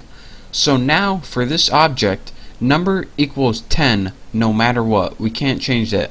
So anytime uh, we use number, like add number to sum, we add 10 to sum. Simple enough.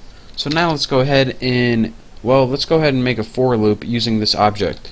So let's just put 4 and let's make a simple loop. Put like int i equals 0 um, if i is less than 5 and i plus plus. So it loops 5 times. 1, 2, 3, 4, yep, loops 5 times. Um, it really doesn't matter what you have inside your for loop. This isn't important. Just had to make, make something real quick.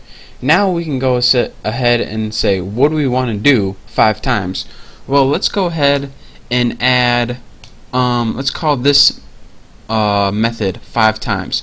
So the first time it's going to be 10 when it adds it. The second time it's going to add uh, another 10 to it, so it's going to be 20. Then it's going to be 30, 40, 50. Simple enough. So let's go ahead and add tuna object, and how you use it is add right there. So now we did our method um, five times, but we can't really see anything because this method right here it doesn't return anything so we need to return it right here so let's go go ahead and put system out let's go ahead and let's do a print format and let's just go ahead for the format we'll put something like we'll just keep it simple percent s and for the arguments let's just go ahead and put tuna object so let me go ahead and run through this and show you guys the results sum equals 10, sum equals 20, 30, 40, 50. So now let me talk to you guys one last time why this happened. Make sure, hopefully I'm in my screen recorder. Eh, good enough. So what we did is we made two variables. Well, let's just go ahead and do it this way. We made an object called new tuna or tuna object was the name of our object and we passed it the parameters 10 for the constructor. So it took that 10 and set number equal to 10. Alright, simple enough. What's next? Well, we looped through this five times. So what did we do five times? We did this add method five times. So first, for add, it took that number 10 and added it to sum. So now sum was equal to 10. Then, it just spit out 10. And then the next time, on round number 2, it took that 10 and added it to 10. Then we got 20. So now it spit it out 20. Then it took 10 and added it to 20, which was 30. Then it added it to 30, which was 40. Then it added it to 40, which was 50. Uh, so, now that that's all done. So that is pretty much um, your really detailed tutorial on a really simple explanation that whenever you make a final variable, you cannot change it.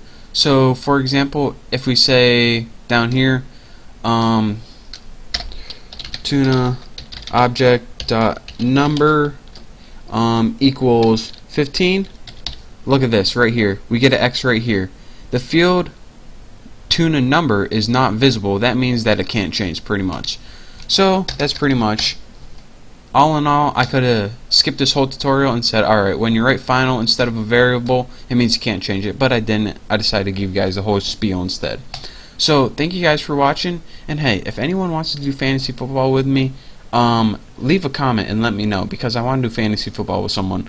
So thank you guys for watching and don't forget to subscribe and I'll see you next time. What's up guys, welcome to your 49th Java tutorial and in this tutorial I'm going to be talking about inheritance. Now what inheritance is, is pretty much inheriting stuff from another class. So why is this useful? Well say we have um, two classes right here, tuna and pot pie. And in the tuna class we have a method like um, public void we'll just name it eat and let's say um, in this method all it does is go system out print line and then it just prints something like um, I am the eat method. And say we had a bunch of different little food classes and every single food class had this method. So tuna had it and pot pie had it and say we had a bunch of other ones like chicken, liver, ham. They all had the same exact eat method. So then your boss comes in and tells you alright you know when you wrote the eat method and said I'm the eat method well we actually want you to say I am the eat methods with a S. So now you gotta go in every single different class class and change that one method and add a S on the end. And you're saying alright I wish instead of having all these copies that I would have to maintain if I could just have one single copy. So that's what exactly inheritance is.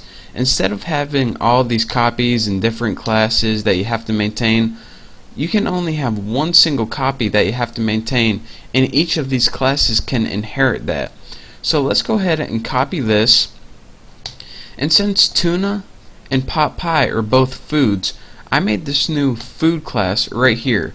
And what this food class is going to do is it's going to store all the things that tuna and pot pie have in common. And right now they have this eat method in common. So we can go ahead and get rid of this method right here and get rid of this method in here. And instead of having all these separate methods and all these classes we only have to maintain this one method in the food class so how exactly does this work and how can we only have one method to kind of take care of? Well, this is what inheritance is.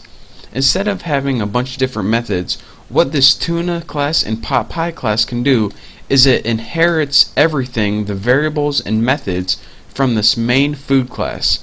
And whenever we do this, the kind of methods that inherit the stuff those are called the subclasses, and the stuff that they, or the class that they inherit from, is called the superclass. So again, these two tuna and pot pie classes are going to inherit all the stuff that's in the food class, and the food class is called the superclass, and the tuna and pot pie class are, are called the subclasses. So how exactly do we inherit everything? Well, instead of say inherit from, what Java said is it gives it a new keyword named extends, E-X-T-E-N-D-S. And whenever you write extends, this means inherit from. So if you say public class pot pie extends food, this means alright, in this class pot pie, we're going to inherit everything from food. So we're going to inherit any variable that would be inherit in all the methods. So let's go ahead and do that same thing from tuna. So public class tuna, this class, EXTENDS, it extends food. So now anything that's in food is inside pot pie and tuna. Even though we can't see it, that's what we mean. So let's go ahead and let me show you guys that right now. So say we go, or wherever your main method is right here, let's go ahead and make an object. So I'm going to make my tuna, tuna, object and let's just go ahead and put new tuna. Let's just go ahead and make the same thing with pot pie. So pot pie pot object I'll be JCT I know I figure it out eventually. New pot pie. So now we have a tuna object and a pot pie object. Make sure I didn't mess anything up. So now even though we have no methods in here they inherited all the methods from food so we would use those methods just like we would anyone else. So this method is called eat don't remember and it's in pot pie and tuna even though you can't see it.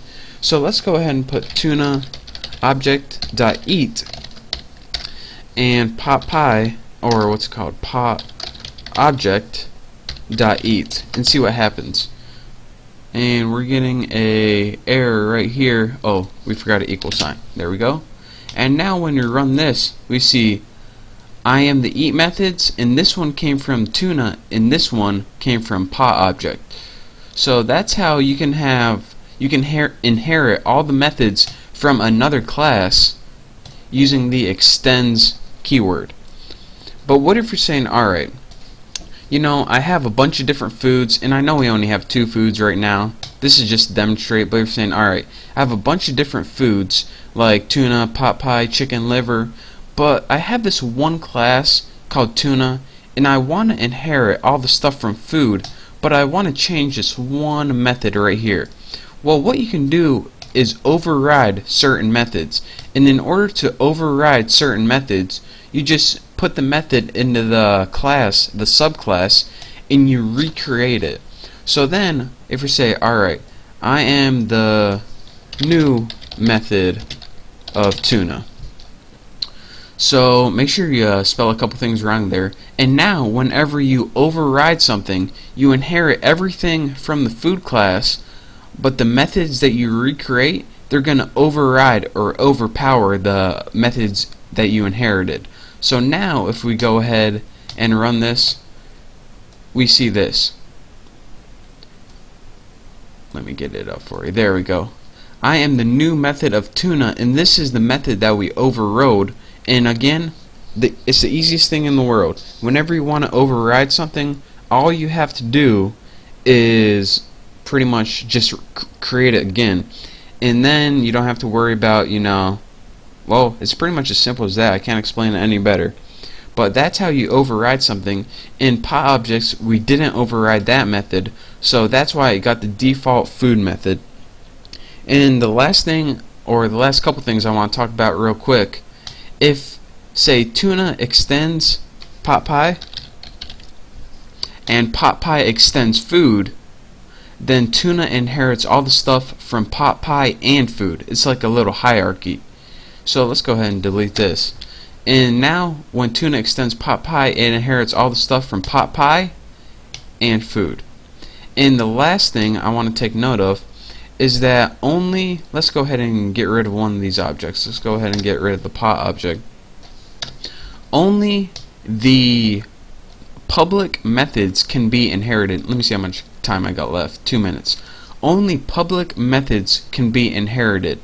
So if you have a private method in the superclass, again the superclass is the one that the subclass inherits from and we want to change that to food.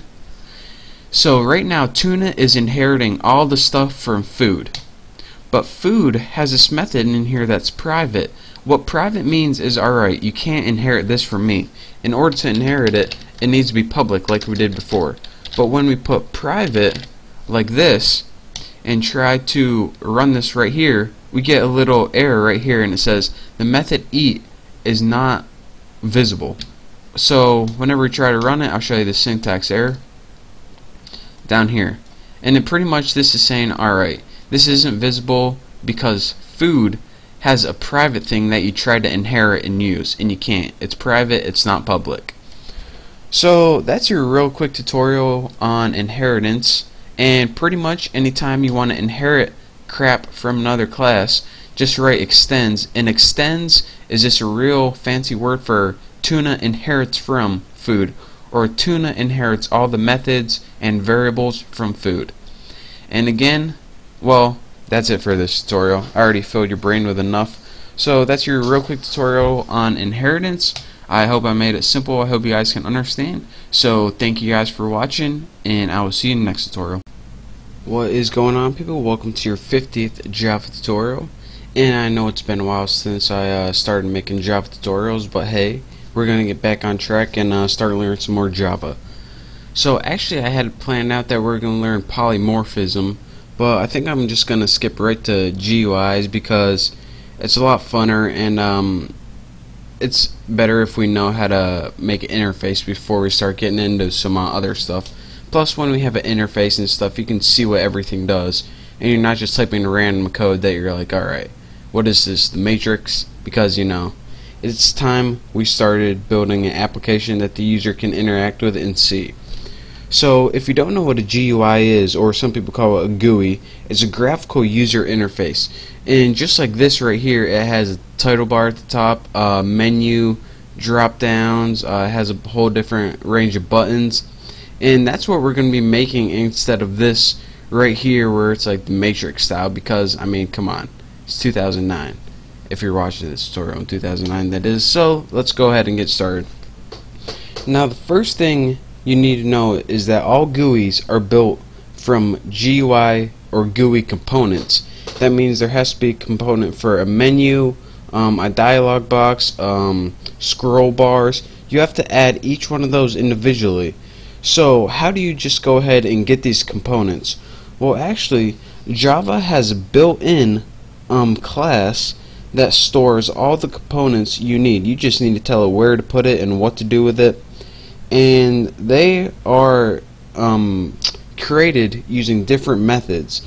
And the methods used to create this in the class is called the J option pane class. Now, like I said, um, this class is built into Java. So anytime you want to make a button, all you need to do is call it from the class. And there are different ways to do this, but this is the easiest way. So in order to get all those buttons and toolbars and everything, we first need to import the entire class. So let's go ahead and before your even class right here, just go ahead and put import javax dot swing dot j option pane and make sure you type the J and the O capital option pane and just like that. And now we're getting a little error that says um, the import java joption pane is never used. So let's go ahead and fix that by using some stuff right now. So now we imported the class which means we have access to all the crap in it. So let's start using some of that crap. The first thing we're going to want to do is set two variables. By the way I'm going to build a program where you enter a number in one box and then click OK. You enter a number in another click OK. And the end box the third one um, shows your answer. You'll see in a little bit. So we need to set this equal to string variable and set it equal to first number and I'm just going to write fn or uh, excuse me fn for first number. Now what you need to do is call the class which is j option pane use your period or dot separator and the method for an input dialog is show input if you couldn't tell by these hundred pop-up things that pop up dialog and it's going to take one parameter right here and this is the message. Now what this is is the message or the prompt which you want to tell the user to do. So we just want to put in a string enter first number. So now whatever they enter into that first number is going to be stored in the variable fn. So now we need a second number so let's go ahead and copy this. Press enter paste it and let's just set string second number and we'll just put enter second number right there. Make sure I got my uh, whatever it's called semicolon. And let's go ahead and move this over here because uh, just because I feel like it. Now here's a little thing that you need to know. Every time they enter something in here show input dialog method only is able to get a string. So we can't add strings. Strings are pretty much letters and, and numbers that it doesn't see as a number. So we need to tell Java, alright, instead of viewing this as a string, we want you to view it in, as an integer so you can do some math with it later on. So what we need to do is convert these variables to integers. So this has nothing to do with um, J option pane. This is just Java right here. So Java num or excuse me int num1 equals integer dot parse int and what this does is convert whatever I type into here and stores it as an integer in num1. So I want to put fn and what this does is take the string which say it's 5 and converts it into the number 5. So now let's go ahead and do this for num2 num2 we want to take the second number we typed in and convert it to a variable called number 2. So now the last thing we need to do is just show the sum. So before we even do that, let's just add the sum. int sum equals um, what do we put? Num1 plus num2 no spaces. And now we got the final answer in the sum variable right here. Let's tighten that up a little bit. That's what she said. And now we can go ahead and display this. Now the box that you use to display is something called show message dialog. So let's put J option pane dot show message dialog and this is a little different than show input dialog inputs for inputting messages for displaying. Now this method takes four parameters. The first one is um, it's a parameter where to position it. And if you put null it positions it right in the middle of the screen. The second one is what you want to say like for your prompt but it isn't prompt it's just a message. So let's put the answer is and let's just put add sum so it's going to be like the answer is 5 or something like that. Now the third um, parameter is what what you want to appear on your title bar. So let's put like the title or something something easy like that. And the fourth parameter you need is the message that's going to pop up. Now I'll go over this later if I got time. But for right now just put J option uh, was it pane then put plain underscore message like that. And you don't need to put this last thing in quotation marks. So um, again well that's pretty much it. Let's just go ahead and run this program. I'm tired of waiting around. So let's go ahead click OK run it. Enter your first number 3 okay enter your second number 5 okay the answer is 8 and now I can talk you through this one more time. So now, once we go ahead and run this, what we're getting is this very first thing, the show input dialog. And it says enter your first number. And we're going to go ahead and enter 4, press OK. Now once we press OK, it stores that 4 in fn variable right there. And also, it allows us to move on to this other show input dialog. It doesn't move on until you complete the show input dialog. So enter your second number, 6. Okay. So now what it did right here is it took that 4 and converted it to a number and took that 6 and converted it to a number so that you can add the two sums right here. And lastly, it took that show message dialog, which if I can get it back right here, and it says that null, which means position in the center of our screen, the answer is sum right here and again that third parameter was the title which appeared on the title bar.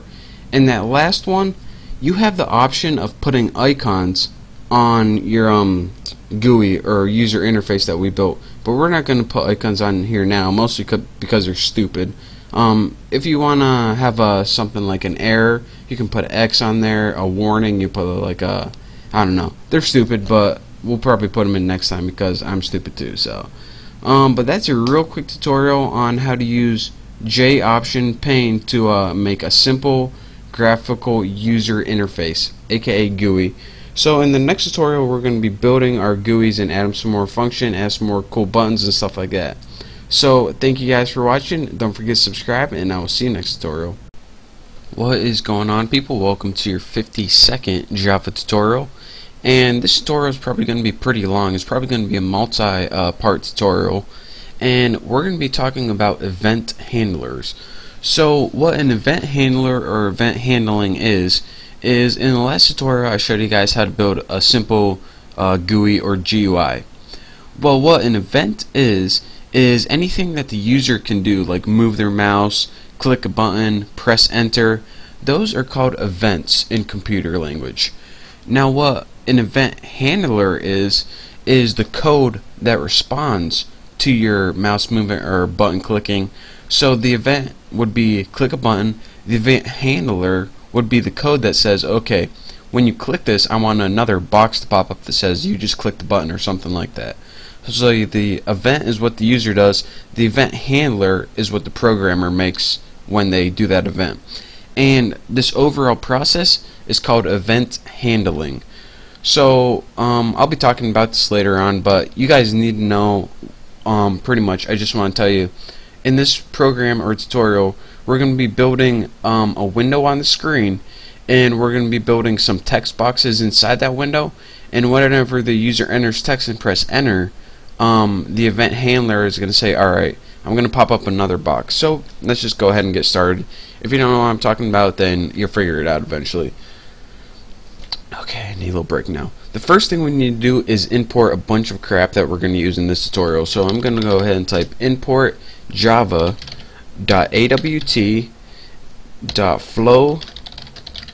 layout. And make sure your A is not capitalized. And go ahead and you can just copy this right here because we're going to be using something similar to it so we imported java awt flow layout the next thing we want to import is java.awt.event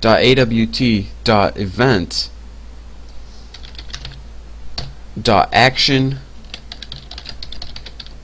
listener let me make sure I spelled listener right yep and what this does, flow layout pretty much gives you layout. The listener listens or pretty much waits for the user to do something like press enter or something.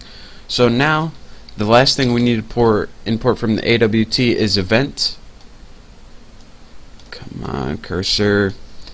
Seriously? AWT.event.action event and these are events which I told you about last time. Now we need to import four things from the swing. So let's go ahead and import Java X. Make sure you have the X swing.jframe. And now we can go ahead and well, might as well copy that because we're going to be importing three other things. Copy, paste, paste, paste. We need to import JFrame, JTextField, field, and make sure that you got your capitalization same as mine with the T and the F capitalized. JFrame, JTextField, JPassword field. And text field is somewhere where you can type text. Pass password is the same thing, but instead of showing the text, it covers it up in asterisk so you can't see. And the last thing is option pane. So now we imported everything that we need for this tutorial and these pretty much are all the built-in methods and variables that we're going to use. So now what we need to do for our tuna class is just like before we need to extend um, or inherit all the stuff from JFrame and what this pretty much does is give us all it pretty much lets us use a window. So now we created a window like any other program. Now we can start putting stuff in it. So we're going to put three items plus a password field in it, or pretty much four text fields. So let's go ahead and make variables for those. Um, let's make our item, our first text field first. So um, private J text field, and you need to put J text field, and you can name anything you want. I'm just going to name my item one, and I'm going to make three of these. So I'm just going to copy this because I am extremely lazy. Um, item two, and item 3. And the last Sorry about that, I had to take a little break, help my roommate find his phone, but alright. So we created three text fields right here. Now let's go ahead and create our last password field. And we'll set that to private as well because, I mean, why not? J password field. Like that. And let's just uh, give this variable. Oops. Password field. Looks good. So now I did something. Oh, no semicolon. Embarrassing. So we created three items plus a password field. Now let's go ahead and create our window. So let's go ahead and create a constructor for this. And since my class is named Tuna, I'm going to have to create a method that's named Tuna. So I'm just going ahead and going to type public Tuna. Doesn't take any arguments. And whatever I create in this is pretty much the window. So the first thing I need to do or first thing I actually want to do is add a title to this. And if you remember from the last tutorial to do this you just put super and then in your um, argument you put the title or whatever you want for the title. Not gonna get anything fancy because I'm not creative at all. So now we're gonna have to set the layout for this which is pretty much how things are placed. And we don't want to have to code a new layout and place everything so we're just gonna grab a one by default. And how you do this put set layout. And if you're wondering where all these methods are coming from, they're imported somewhere up here. All these built-in methods that I'm using. You just can't make set layout and put it in everything. You actually have to import it. So set layout takes one argument and the argument for this is new flow layout just like that and that is a uh, method in itself so make sure you have that type just like that so now we have a title and a layout to our window so let's go ahead and start adding those um, text fields right there. So the first thing we're going to add is the item 1 and we're going to set this equal to new J text field. And in the uh, parameters for this set the length of it as 10 and now we have an item but we didn't add it to the window yet. So let's go ahead and add item 1 and this will add the item to our window so now although you can't see it you pretty much have a blank window with just a little text field on the screen. Now we're going to go ahead and do that for the rest of our items. So let's go ahead and put item 2 and set this one equal to and these are going to be a little bit different just change things up a little bit. Um, new J text field but as your parameters go ahead for this one and put like enter text here now what this is going to do is give you a default text inside and it pretty much is like a prompt now let's go ahead and add this one to the screen item 2 so now we have a pretty much an empty window with two things on our screen, two text fields. So now let's go ahead and change our item 3 variable to, yeah, you guessed it, new J text field. And for this one, we'll go ahead and type, alright, let me think of something to do. There we go. Let's go ahead and type, we'll make this text uneditable. And we'll give it a default value of 20. And now we have um, a text field that says uneditable in it and we want to make sure that the user cannot edit this so we're gonna, what we're going to do is take that item 3 which is that text field and how you set the editableness is go set editable and what you're going to do for this is put false and if you put false in that that text field is not going to be editable so the user is going to be able to change what's on the screen I mean uh, read what's on the screen but they aren't going to be able to edit it and now what we want to do is just add, add item number 3 to that. And the last thing we're going to make is our password field. So let's go ahead and password field and we're going to set this equal to new J get it password field. Make sure I typed everything right. And as a default you can give um get out of there um, my pass or something. And this is going to show up in asterisk on your screen. So now that we have that we can just go ahead and add um, the password field. Oh, don't want that. So now we have a screen with four things on it we have four different text boxes and each one of them is a little different I just want to show you guys that um, changing the parameters does a little thing different to it and uh, you'll see this later on visually but in the next tutorial, we're actually going to be adding an event and handlers to this. That means when you enter text and press enter, do this or do that. But for now, I just wanted to get our window set up. And in the next tutorial, we're going to start programming this baby. So I cannot wait. Uh, thank you guys for watching, and I'll see you next time. What is going on guys? Welcome to your 53rd Java tutorial and this is pretty much a continuation of the 52nd one and there's probably going to be a 54th one. But um, just a real quick review. What we did is pretty much already, uh, if you didn't watch 52 for some reason, we just built a window and put four things in it. and that's uh that's pretty much it. And now what we're going to do is pretty much add some functionality to this. And what we're going to say is, alright, when you enter text in one of those text fields and press enter, what we want to do is pop up another box saying what you entered. Like when a user would type in something and it says, like a verification or something. So let's get right to it. Now, what we need to do is the first thing that we're going to need to do is build an action listener object. So what what this means is we have four text fields waiting on the screen and they're pretty much dumb and they don't do anything right now. What we want them to do is to add some brains to them and have them waiting on the screen in listening it's called. And when you listen you're pretty much just waiting for an event to happen. So right now they just look pretty. They're not even waiting for anything so what we want to say is alright text boxes listen for something to happen and when that happens we want you to execute a bunch of code. So the first thing that we're going to need to do is we're going to build another class to execute the code but this class I'm going to build an object for this class before I even build the class. So the class name is going to be the handler and we're going to get some errors right here but that's fine. And I'm just going to name my object handler. And this is going to be equals new handler class. And if you're saying alright where is this handler class? We didn't build it yet but I will we promise. So actually hold on. New the handler. There we go. And what this does is it pretty much builds an action listener object. So now we're gonna make a new class later on um, that you'll see what this does later. But what we need to do is add this object to each of the items. So item 1, what we need to do is add action listener. And what this takes as an argument is the object we just created. So that's why we need to do that. And the object, you can see it is called handler. So handler right like that. And we need to do this for each object. So let's go ahead and copy this.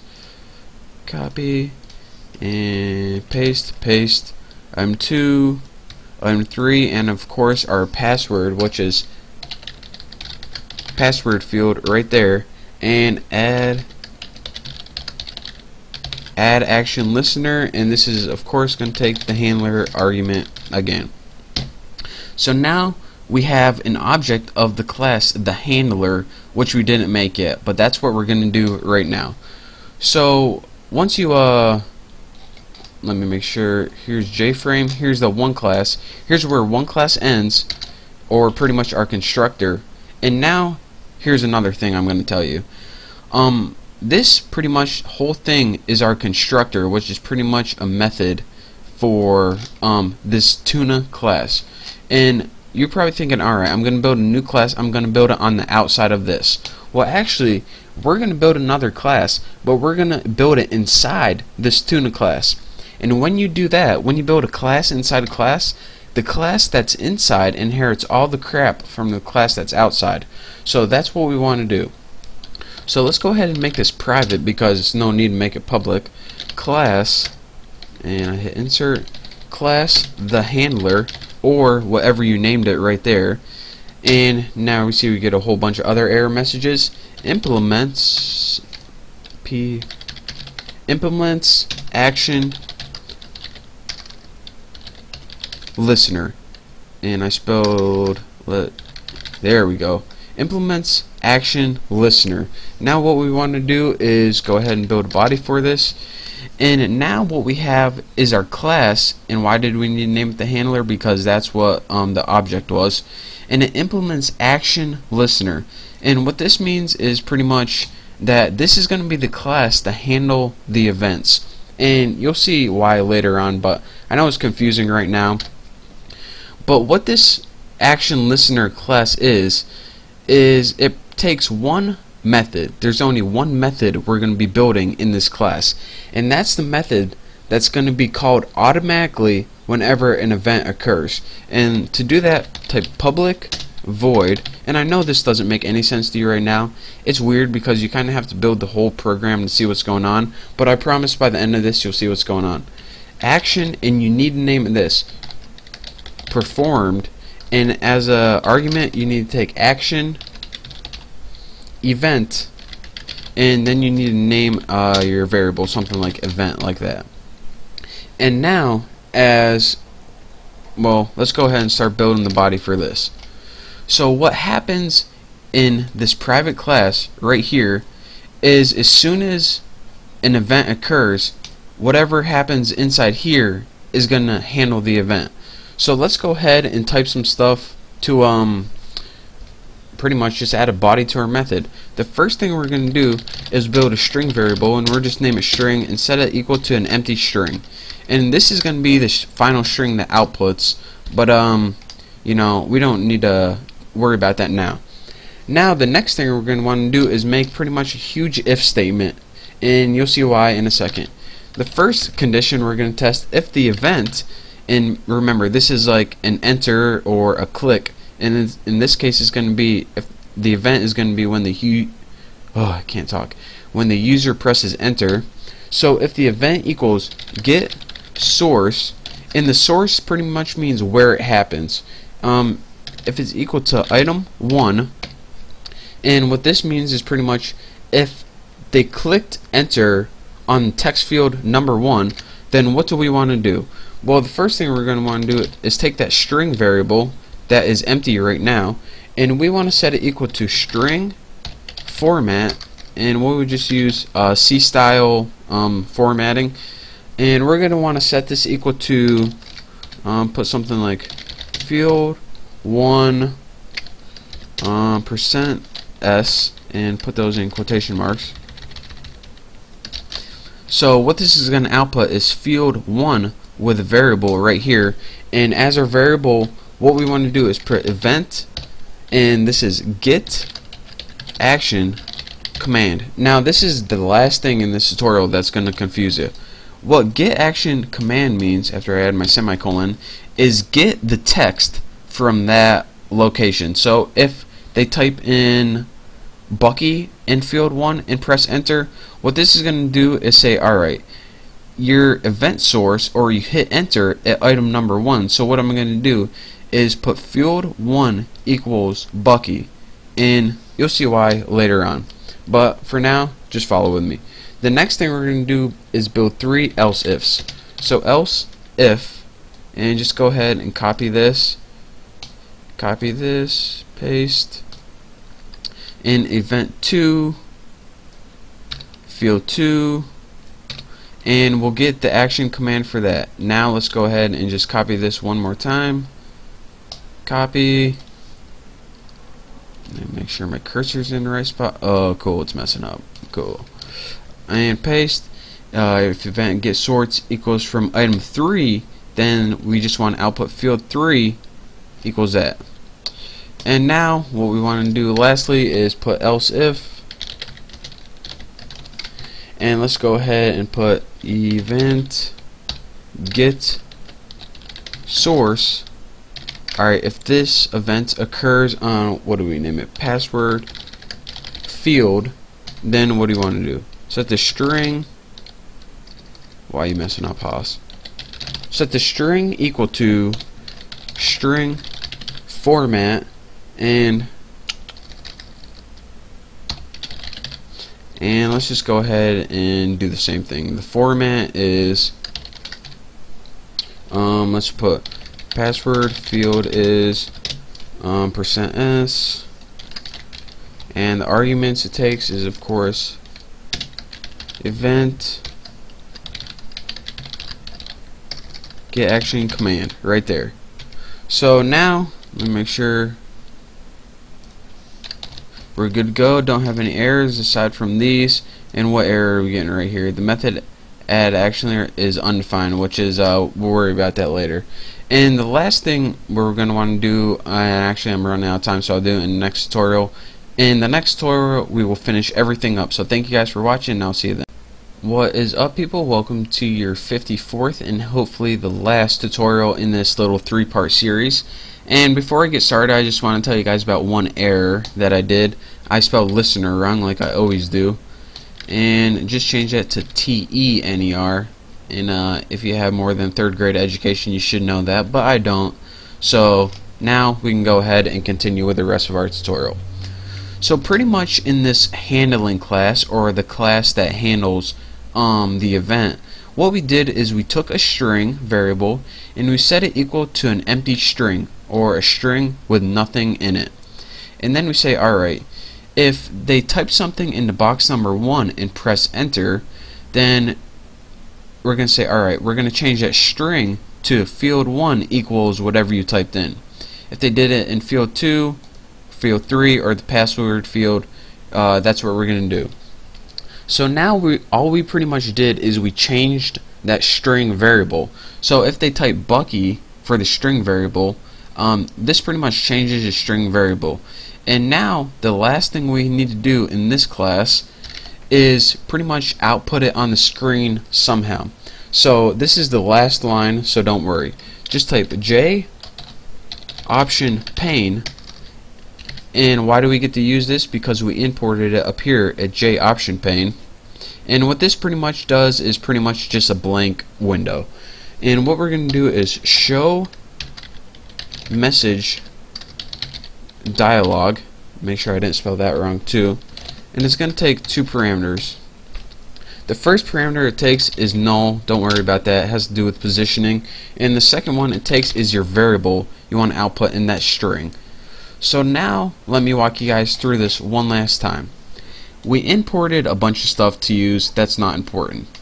The second thing we did is we pretty much built a window um, using JFrame, which we did in the last tutorial. You should know how we did that.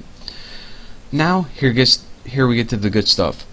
What you definitely need in order to handle events is uh, pretty much an event handling class that implements action listener and we built that class right here now once we made that class we can create objects for that class and we created a class or excuse me an object named handler. So anytime that you use this object it's going to refer to this class right here.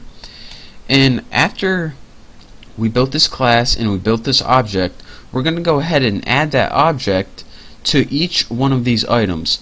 Now we gave each of these items some functionality. So before they were just sitting there and now once you press enter on them they actually do something and what does has to do with this method right here. Now inside your class that handles events you need this method and you need to call it action performed. This is a built-in method that has to do with the action listener class. This method gets executed automatically whenever an event occurs. So the event that's occurred is enter. So whenever they press enter, what's going to happen is it's going to create an empty string. It's going to test what you're going to want to change that string to, and then it's going to output it right there. So this is all the hard stuff we did right here. So copy that and do exactly as I did. Now that we made all the hard stuff, we can go ahead and just execute it like we always do. So my main thing is called um, apples. You can do anything you want. The first thing we're going to need to import and the only thing, so don't worry, import javax javax.swing.jframe and this just makes sure that we can use windows in our main method right here. So now let's go ahead and start calling our um, uh, object. So let's go ahead and create a new object called Bucky or whatever. And my class was named Tuna. You can name uh, or whatever your you can name your object um, whatever you want, but make sure, well, you should know how to do this right now, equals a new object from the class tuna, and the second line we want to put is the close operation like we did before. So we're going to take that object, which is pretty much the thing we just created, that window, and set default, there we go, close operation. I didn't, I was too lazy to type it all. And the argument that this is going to take what's all this crap in my way, is jframe dot exit underscore on underscore close. And like before, this just means that whenever we hit X, we want to exit the program. Why why they don't do it automatically, I don't know, but you need to do it yourself.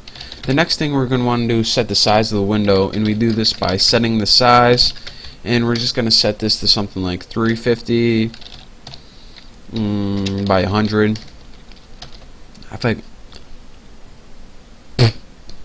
What the heck was that? I just had like a piece of skin in my mouth or something. Pretty disgusting. By the way, I got something really disgusting to tell you um, next tutorial, or if I have time at the end of this tutorial. But it's a disgusting story that I heard the other day, so I'll tell you then. Next, last thing we need to do is set the visibility. So set visible. I need to learn how to spell. So, and we'll just set this to true. And now let me walk you guys through this one last time. So now, make sure you don't have any errors anywhere, and go ahead and click OK, OK, OK, OK, and hopefully this works. And now, here is what we built. Go ahead and type Bucky, press enter, it says field 1 equals Bucky. Enter text here, go ahead and type um, Fred, Freedy, field 2 equals Freedy, uneditable, look this, I'm typing, I'm typing, can't edit it. So go ahead and press enter in that, uneditable. And this password, um, by default, if you press enter, it's my pass, but you can go ahead and change that to something like that, and then it changes to GFGDS. So I'm going to talk you guys through this one last time how this works. Um, if you don't want to listen to me, you can go ahead and watch my next tutorial or watch some uh, videos of like dogs doing silly things online. But um, for those of you guys who really want to figure out how this works, I'm going to tell you right now. This all, well, let's go ahead and just skip the good stuff right here.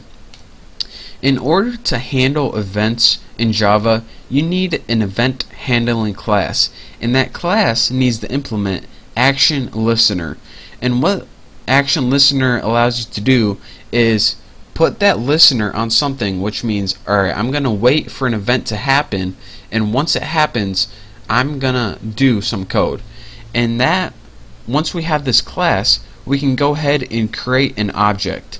And why do we need to create an object?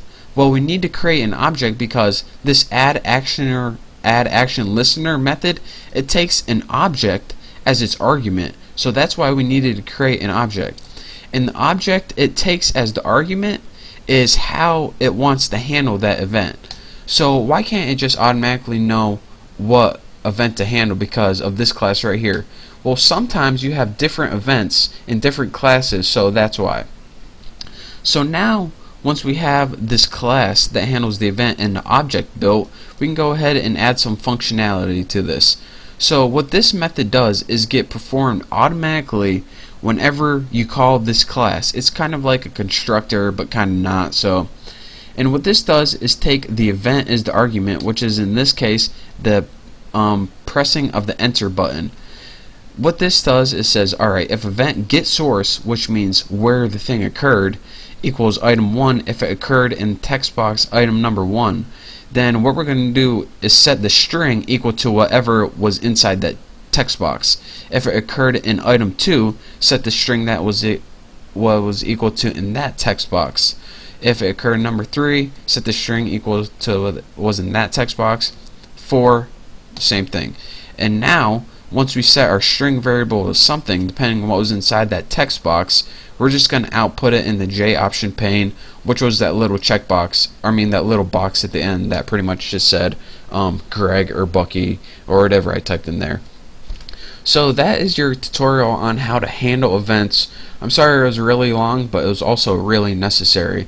So I guys, I hope you understand pretty much the basics of what I did. Um, we'll be going over this um, a little later, so if you don't, um, you probably figure it out. But thank you guys for watching. Thank you for uh, supporting my channel and for all the awesome comments and some of the not so awesome ones. But again, I thank all of you guys, all the people who watch my videos. So um, I can't wait to do next tutorial, so I'll see you then. What is going on guys? Welcome to your 55th Java tutorial and in this tutorial we're going to be getting into polymorphism a little bit and also talking about or building something called a polymorphic array to uh, demonstrate why polymorphism is actually useful.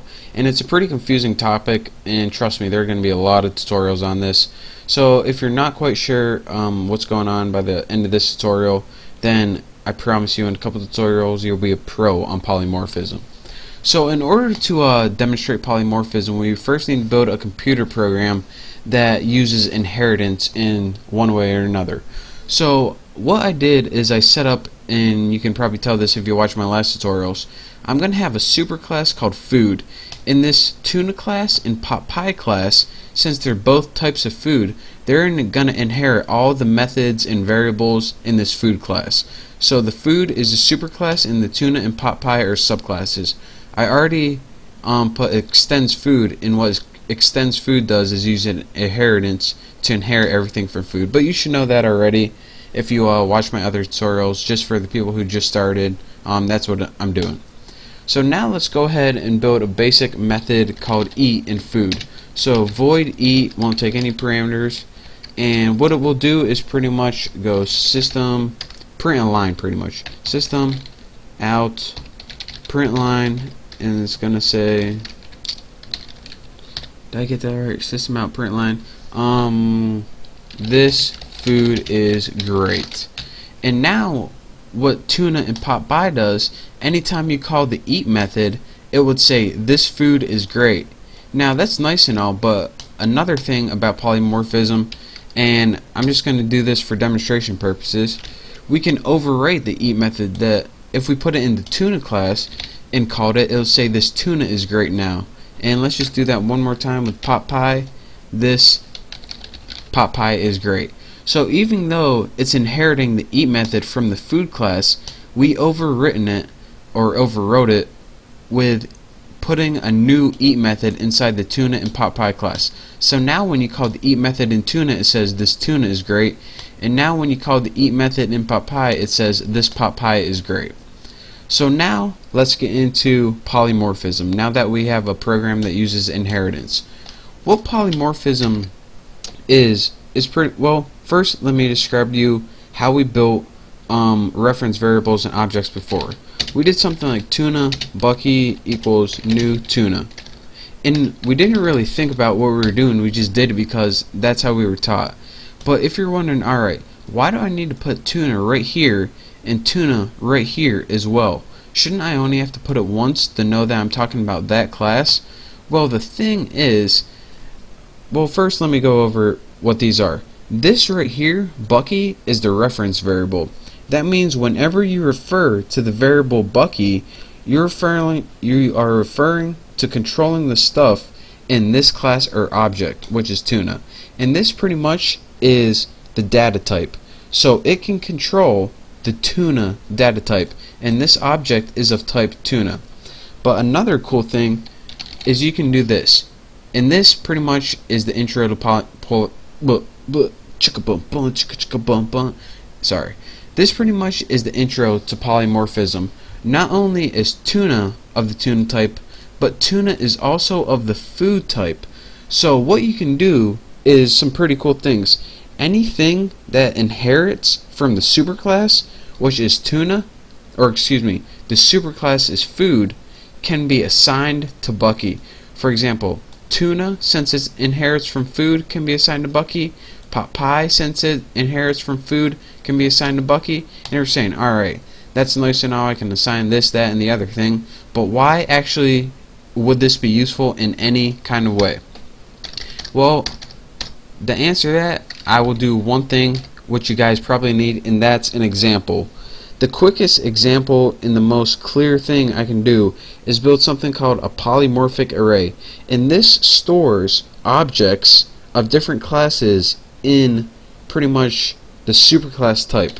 So let's go ahead and say we have food and that's the type. And let's go ahead and make an array object named Bucky. And we'll set this equal to new food 2. So now we have an array and it's called Bucky. And it's of the food type. And remember, like I said, since we have something of the food type, it can hold um, objects of tuna and pot pie. So for example, um, Bucky 0 can hold objects of new pot pie just like that and we'll set Bucky 1 which is a reference variable and we'll set this equal to the object of new tuna and you're saying alright well that's still great you have one variable that can hold an object and another vari variable that can hold an object yeah, these variables might be of the food class, but I don't see why this is useful still. Well, just wait a minute and trust me, you'll see why in a little bit.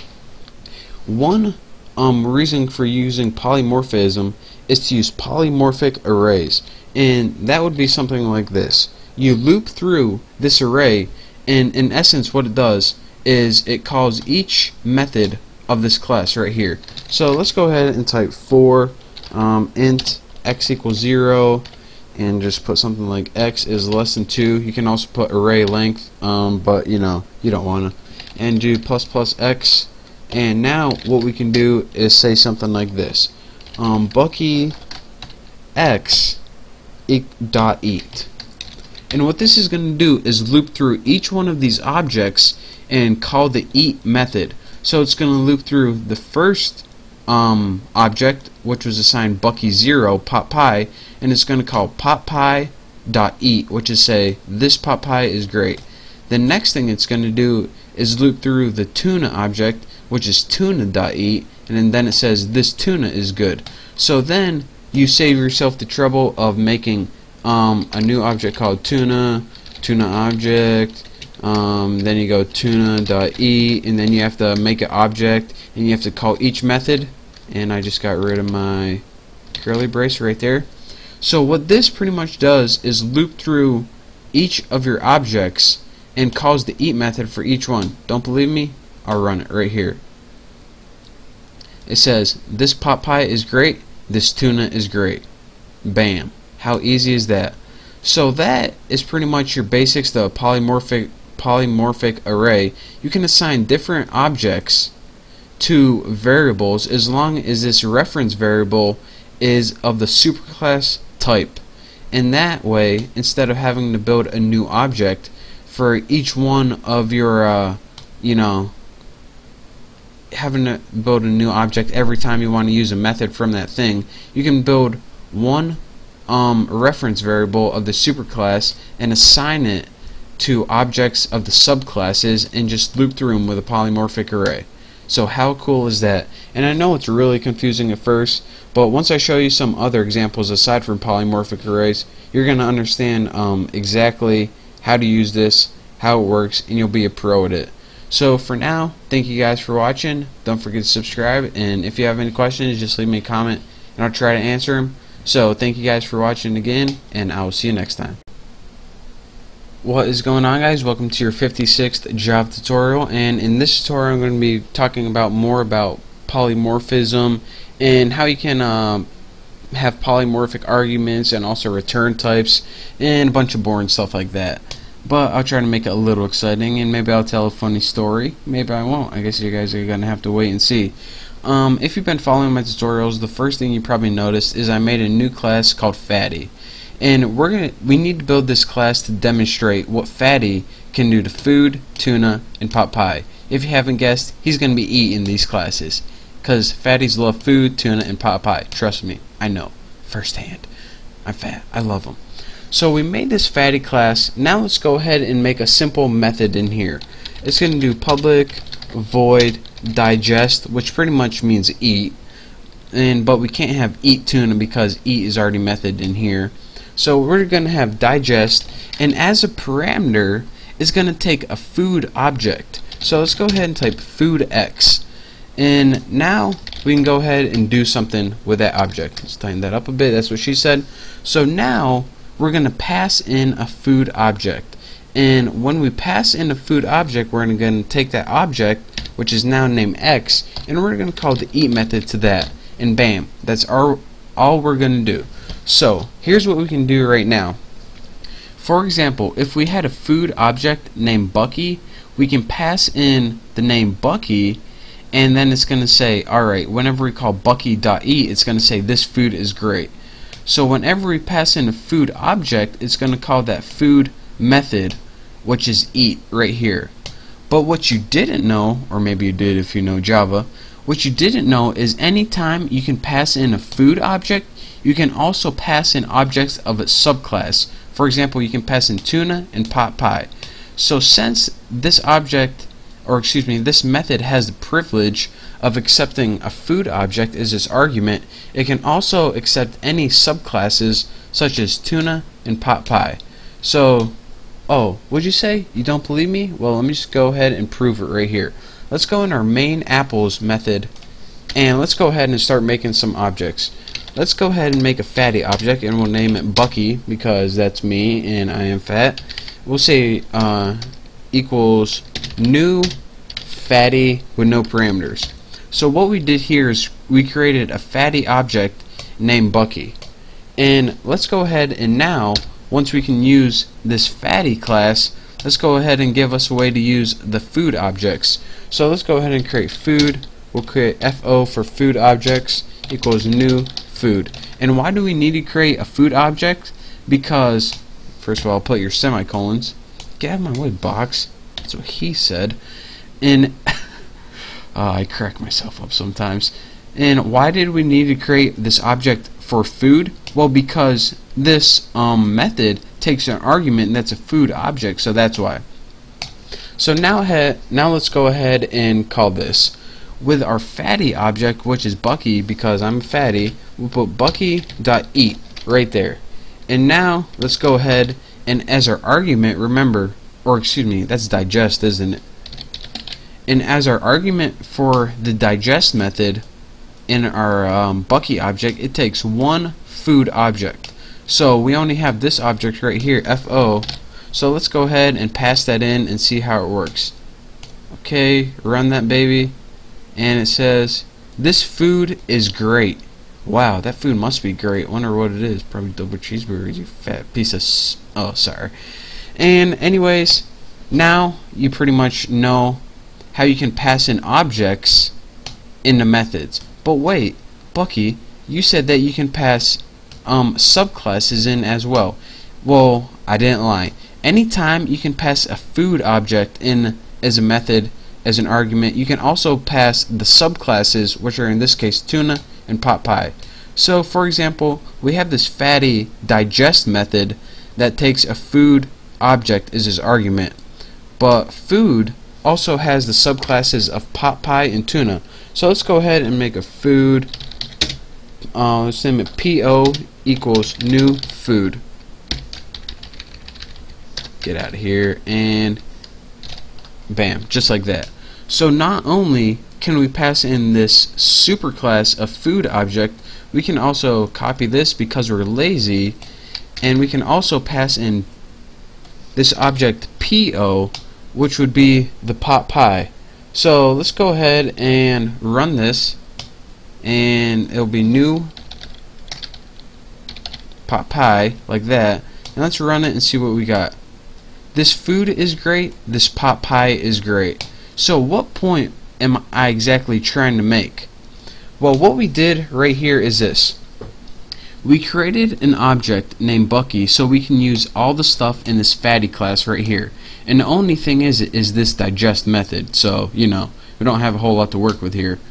We also created a new food object because this digest method, it took a food object as its argument. Now after that we created a pot pie object.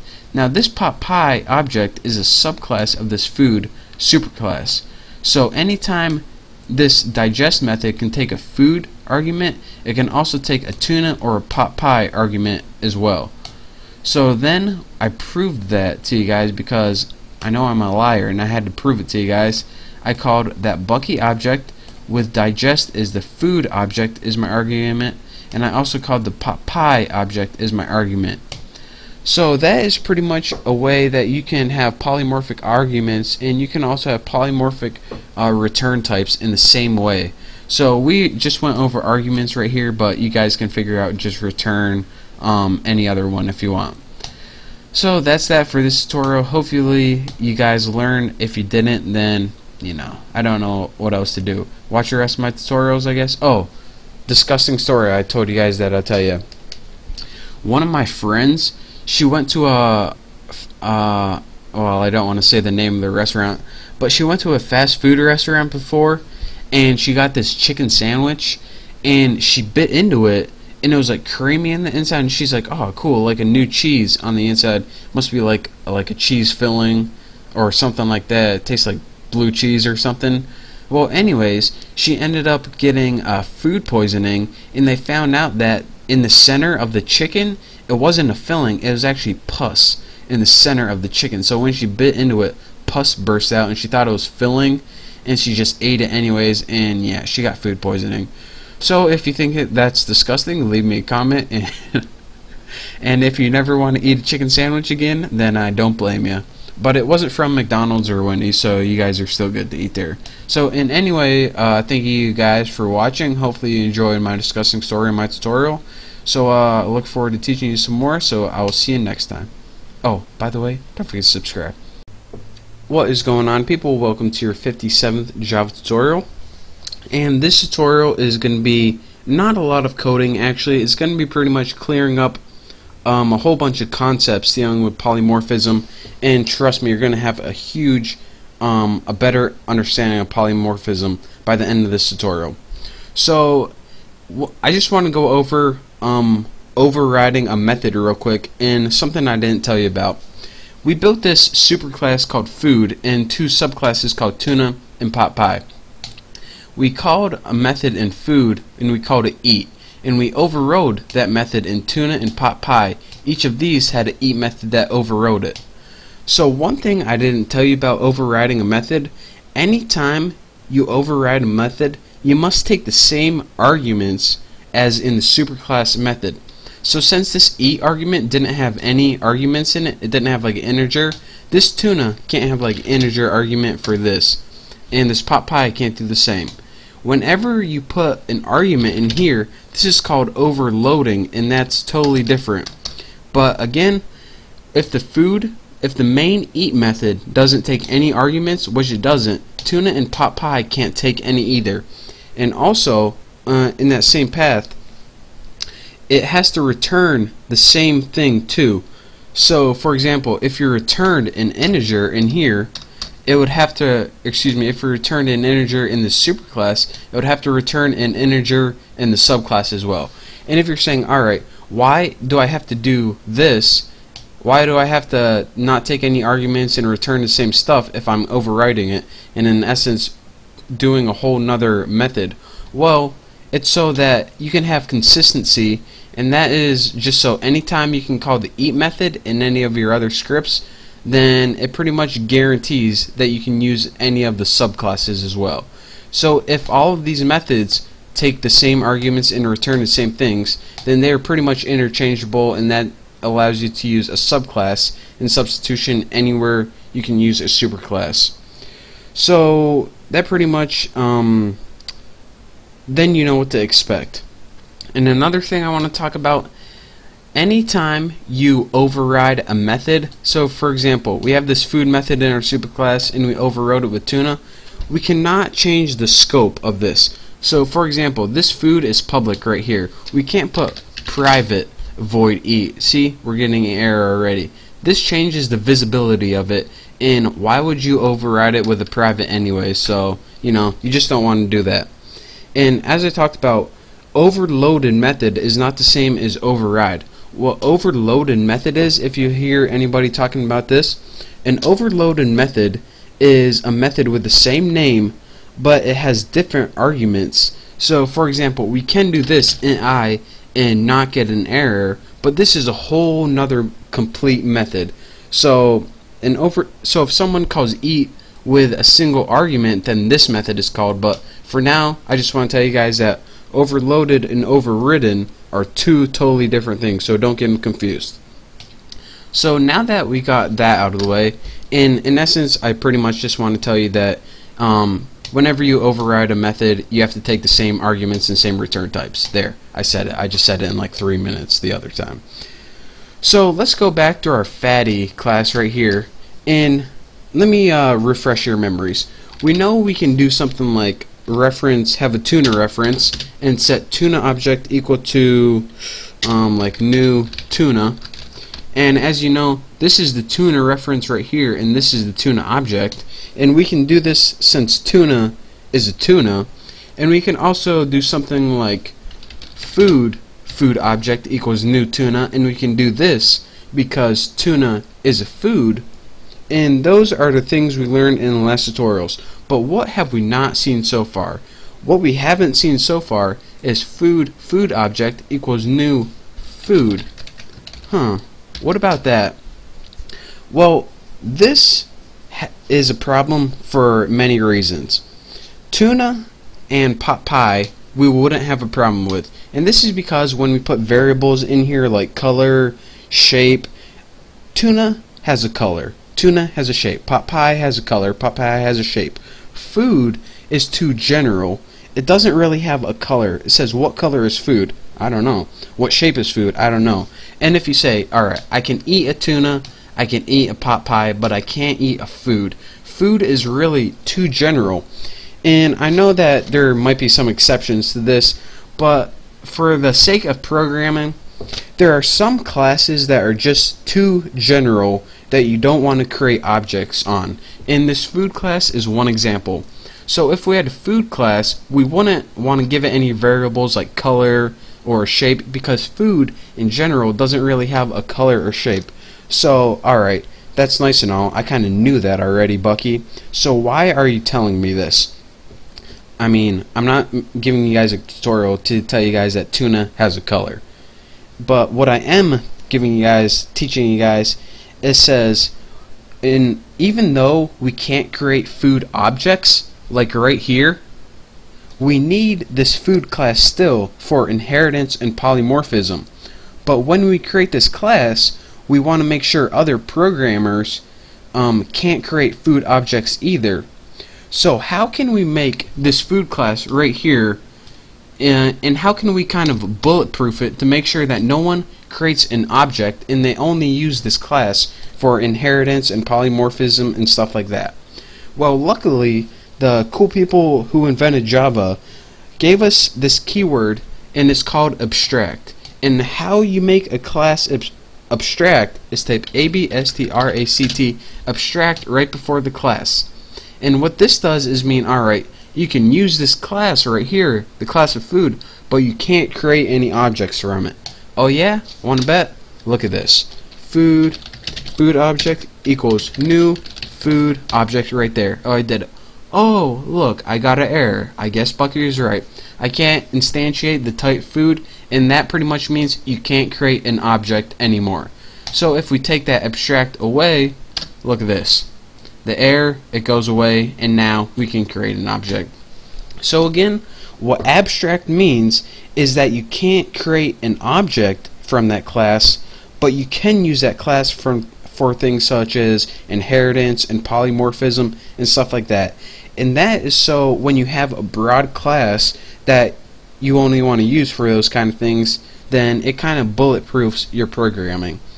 And in the next tutorial, we're going to be going over the two different types of classes. Abstract, we went over in concrete. And I'm going to be showing you guys an example of why it is useful and also what abstract methods are. So this next couple tutorials is more of general ideas and then we're going to be building programs to use these ideas and put them to use.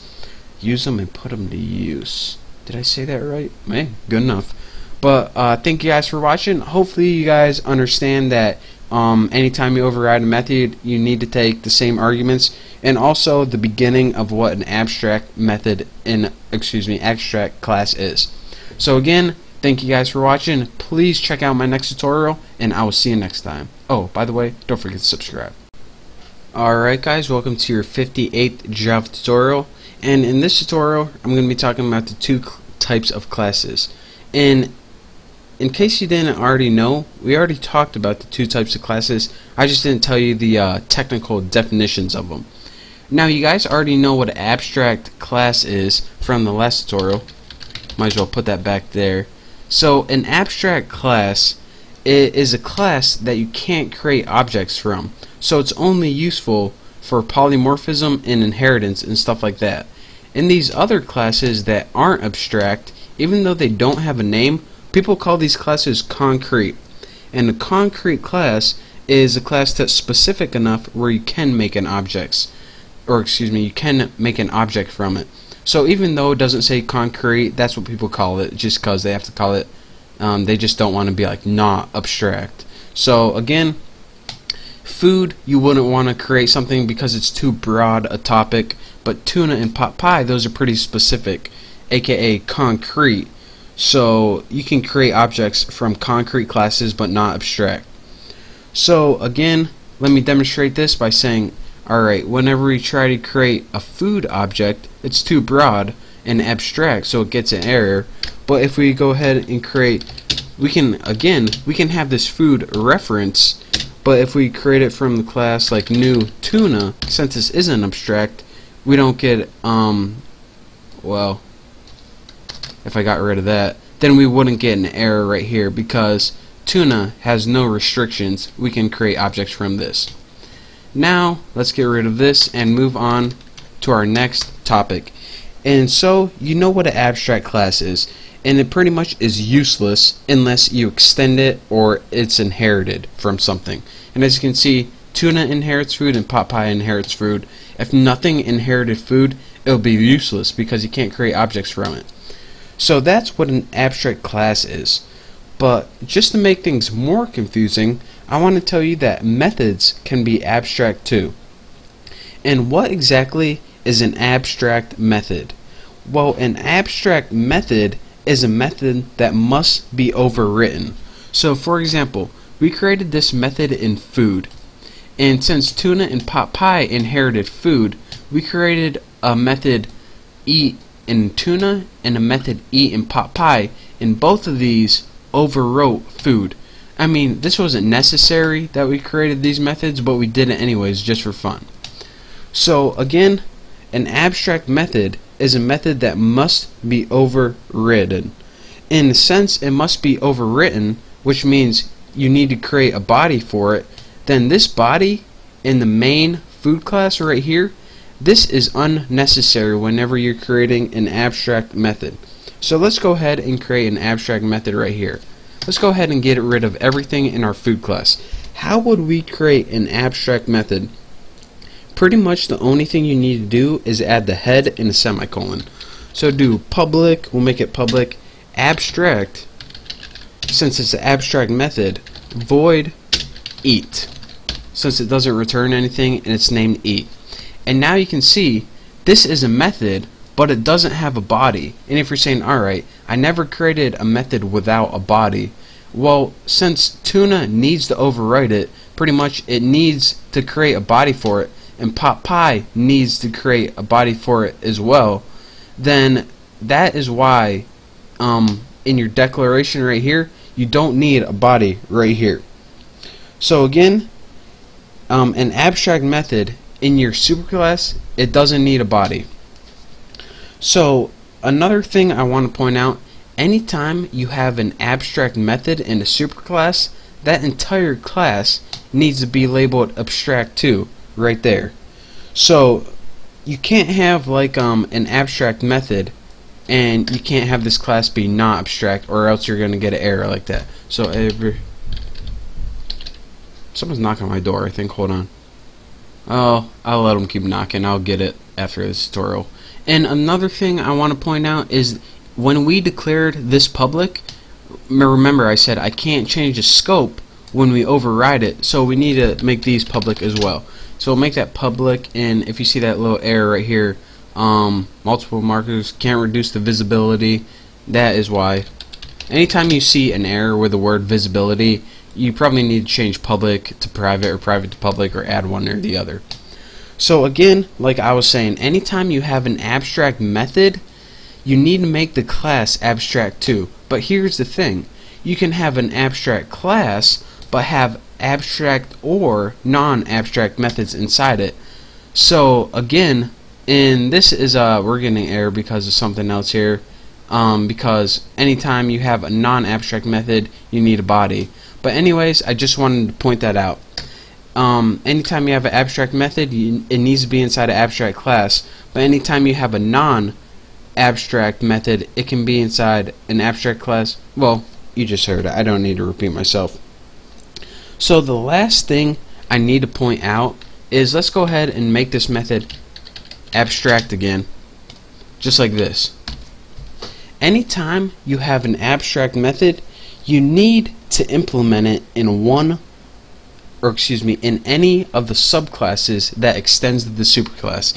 Now I know that sounds confusing, but listen to this. Alright, this tuna class and this pot pie class both inherit from this main food class. And this food class has an abstract method of eating it. That means this tuna class and this pot pie subclass, they both need to use the eat method. Or, or in other words, they both need to implement or override this eat method. If you don't have this eat method, then you're going to get an error in your class, just like this. Type PotPie must implement the inherited abstract method food.eat. So again, anytime you have an abstract method in a superclass, then the subclasses need to override that method. And that's like making a promise. This food says, alright, you want to inherit from me? Okay, I'll let you. But I'm telling you, I have this abstract method, and if you inherit from me, you're going to need to override it. And PotPie's like, Alright, I promise I'll override it.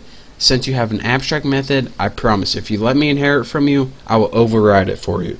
So, if like the classes could talk to each other, that's kind of the conversation they would be having.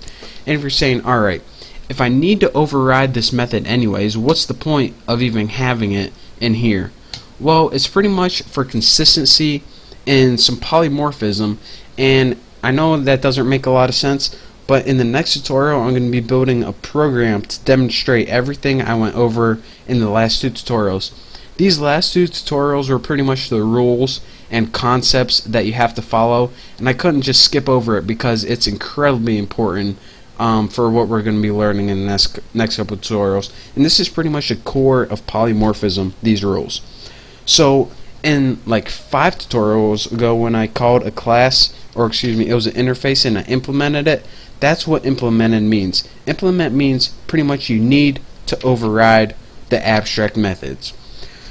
So that's enough for this tutorial. I probably should go uh, see who's knocking on my door. But thank you guys for watching. Um, don't forget to subscribe. Oh, I got like phlegm building up in my throat. But anyways, thank you guys for watching. Don't forget to subscribe, and I will see you next tutorial. What is going on, guys? Welcome to your 59th Java tutorial. And if you've been watching the last couple tutorials, then we pretty much learned all the really basic concepts of polymorphism and inheritance and stuff like that. So in this tutorial, we're going to be putting all our knowledge to use and building a program that pretty much gets a class and puts objects in an array. And it sounds confusing, but um, you're gonna see what it is eventually. But before I uh, get into programming, I want to show you guys that I got rid of all my other classes because I'm gonna need um, a better example, and I thought that this would clearly um, or better demonstrate. So I made a new dog class, and I made a new class called fish, and that I made a new class called animal. And since dog is an animal, and fish is an animal, then I had them both extends or inherit from the class animal. And um, I didn't want to do that just because it took time, but I pretty much just made these classes and I have nothing inside of them. So if you want to go ahead and do that, you can follow along with me. So then, here's a scenario. We made these three classes called dog, fish, and animal, and our boss comes in and he's like, alright, Bucky, I need you to program something for me. And I'm like, what is? He's like, I need you to make a new class called, mm, we'll name it dog list or something like that. And in this class, I want you to have an array that we can add dog objects. So like I said, an array can hold many things. It can hold numbers, it can hold strings, it can also hold objects. And this comes into use, um, well, we're going to be finding out why a little later. But in this tutorial we're going to be building a new class and a new array to hold dog objects. Why? Because our boss told us to. So let's go ahead and do it. The first thing I want you to do is go ahead and under your package, under your source, right click it and click a new class. I know you probably can't see it so I will move it down. Source, new, wow, now you really can't see it. But anyways, if you click a new, in class you get this thing that pops up and just go ahead and put dog list or something like that. And now let me move this back so there we go.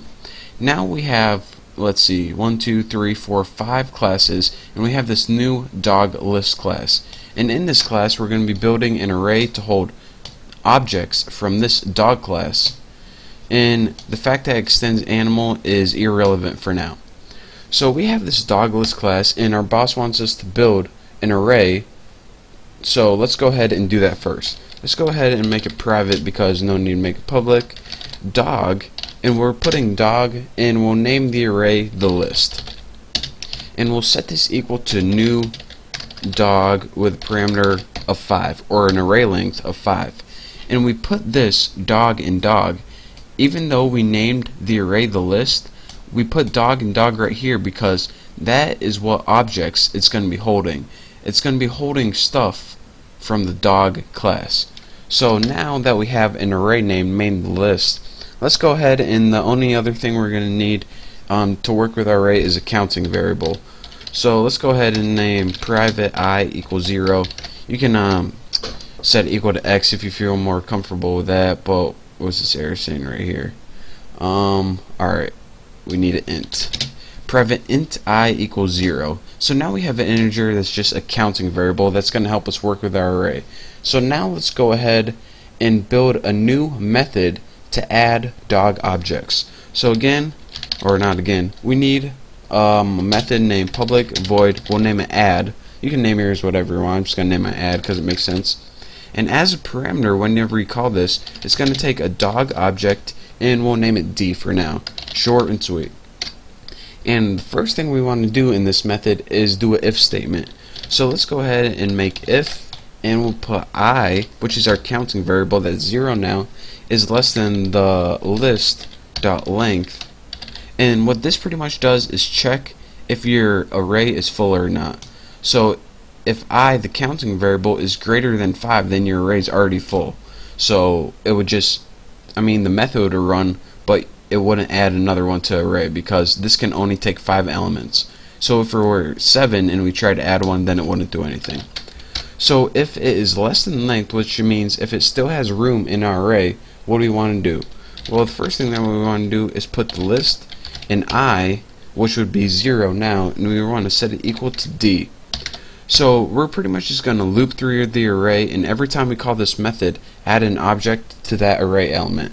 Then just give us a little um, system out print line on screen, something that says like dog added at index space, and we'll put i right there. Come on, come on, there we go. And we'll just looks good right now. So now we have just a little um, something on our screen that we can see visually because you know we want some feedback here. So next we'll just increment through i. So here's what this method is doing. It pretty much checks if your array is full or not. If not, it adds that object at that index and then it says just gives us a little message on the screen and then it goes to the next counter so we don't keep adding it in the same index in our array. So now we built this class just like our boss said that has an array named the list and it's going to loop through and every time you call this method it's going to add a new object to the array. So let's go ahead and do this in our um, main method. I named mine apples. I don't know why, but I did. So now let's go ahead and make a dog list object. So let's go ahead and put dog list. Uh, I'm going to name my DLO. You can name your object anything you want. And then you just put equals new dog list. So yours should look the exact same as mine, except if you didn't want to name it DLO, you don't gotta. So now we can go ahead and create a dog object because I mean we need one as our parameter.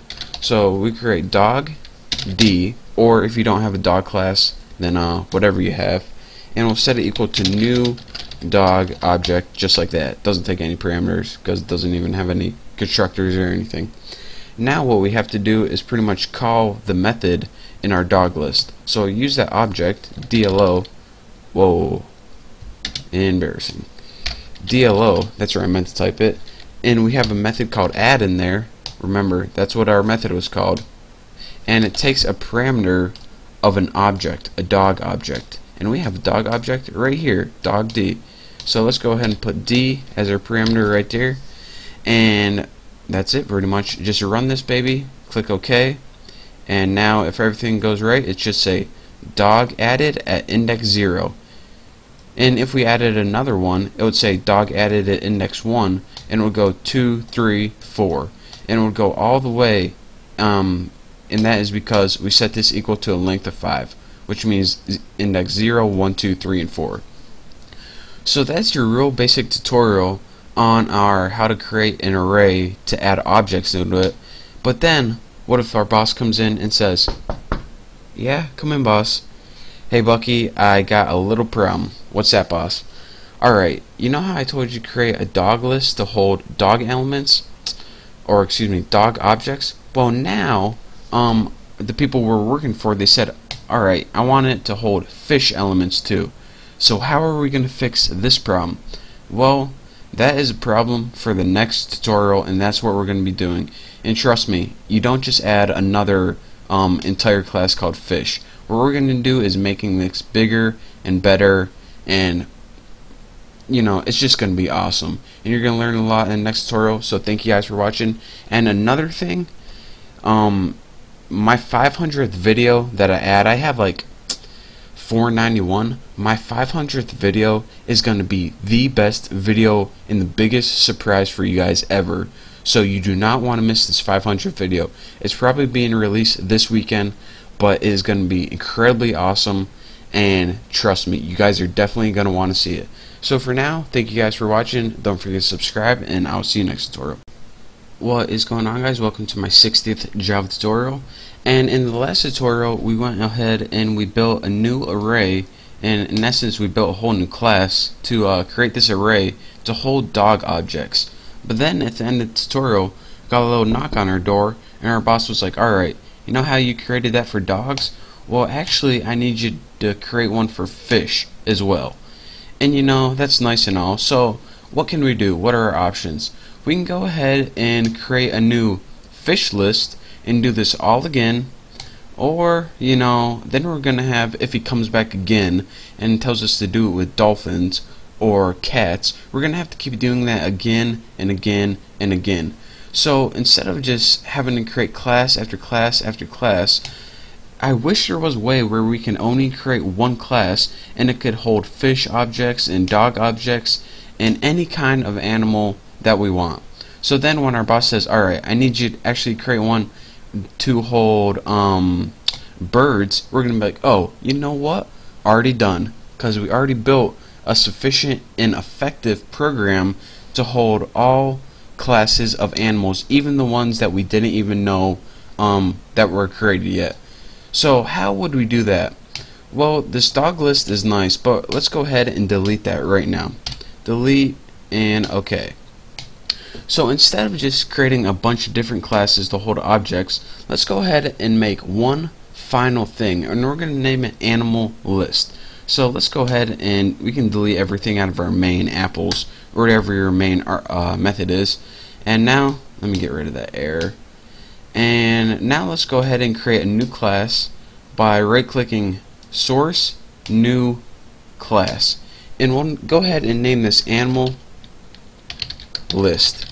And this is going to be um, pretty much, let me run this, this little X is annoying me.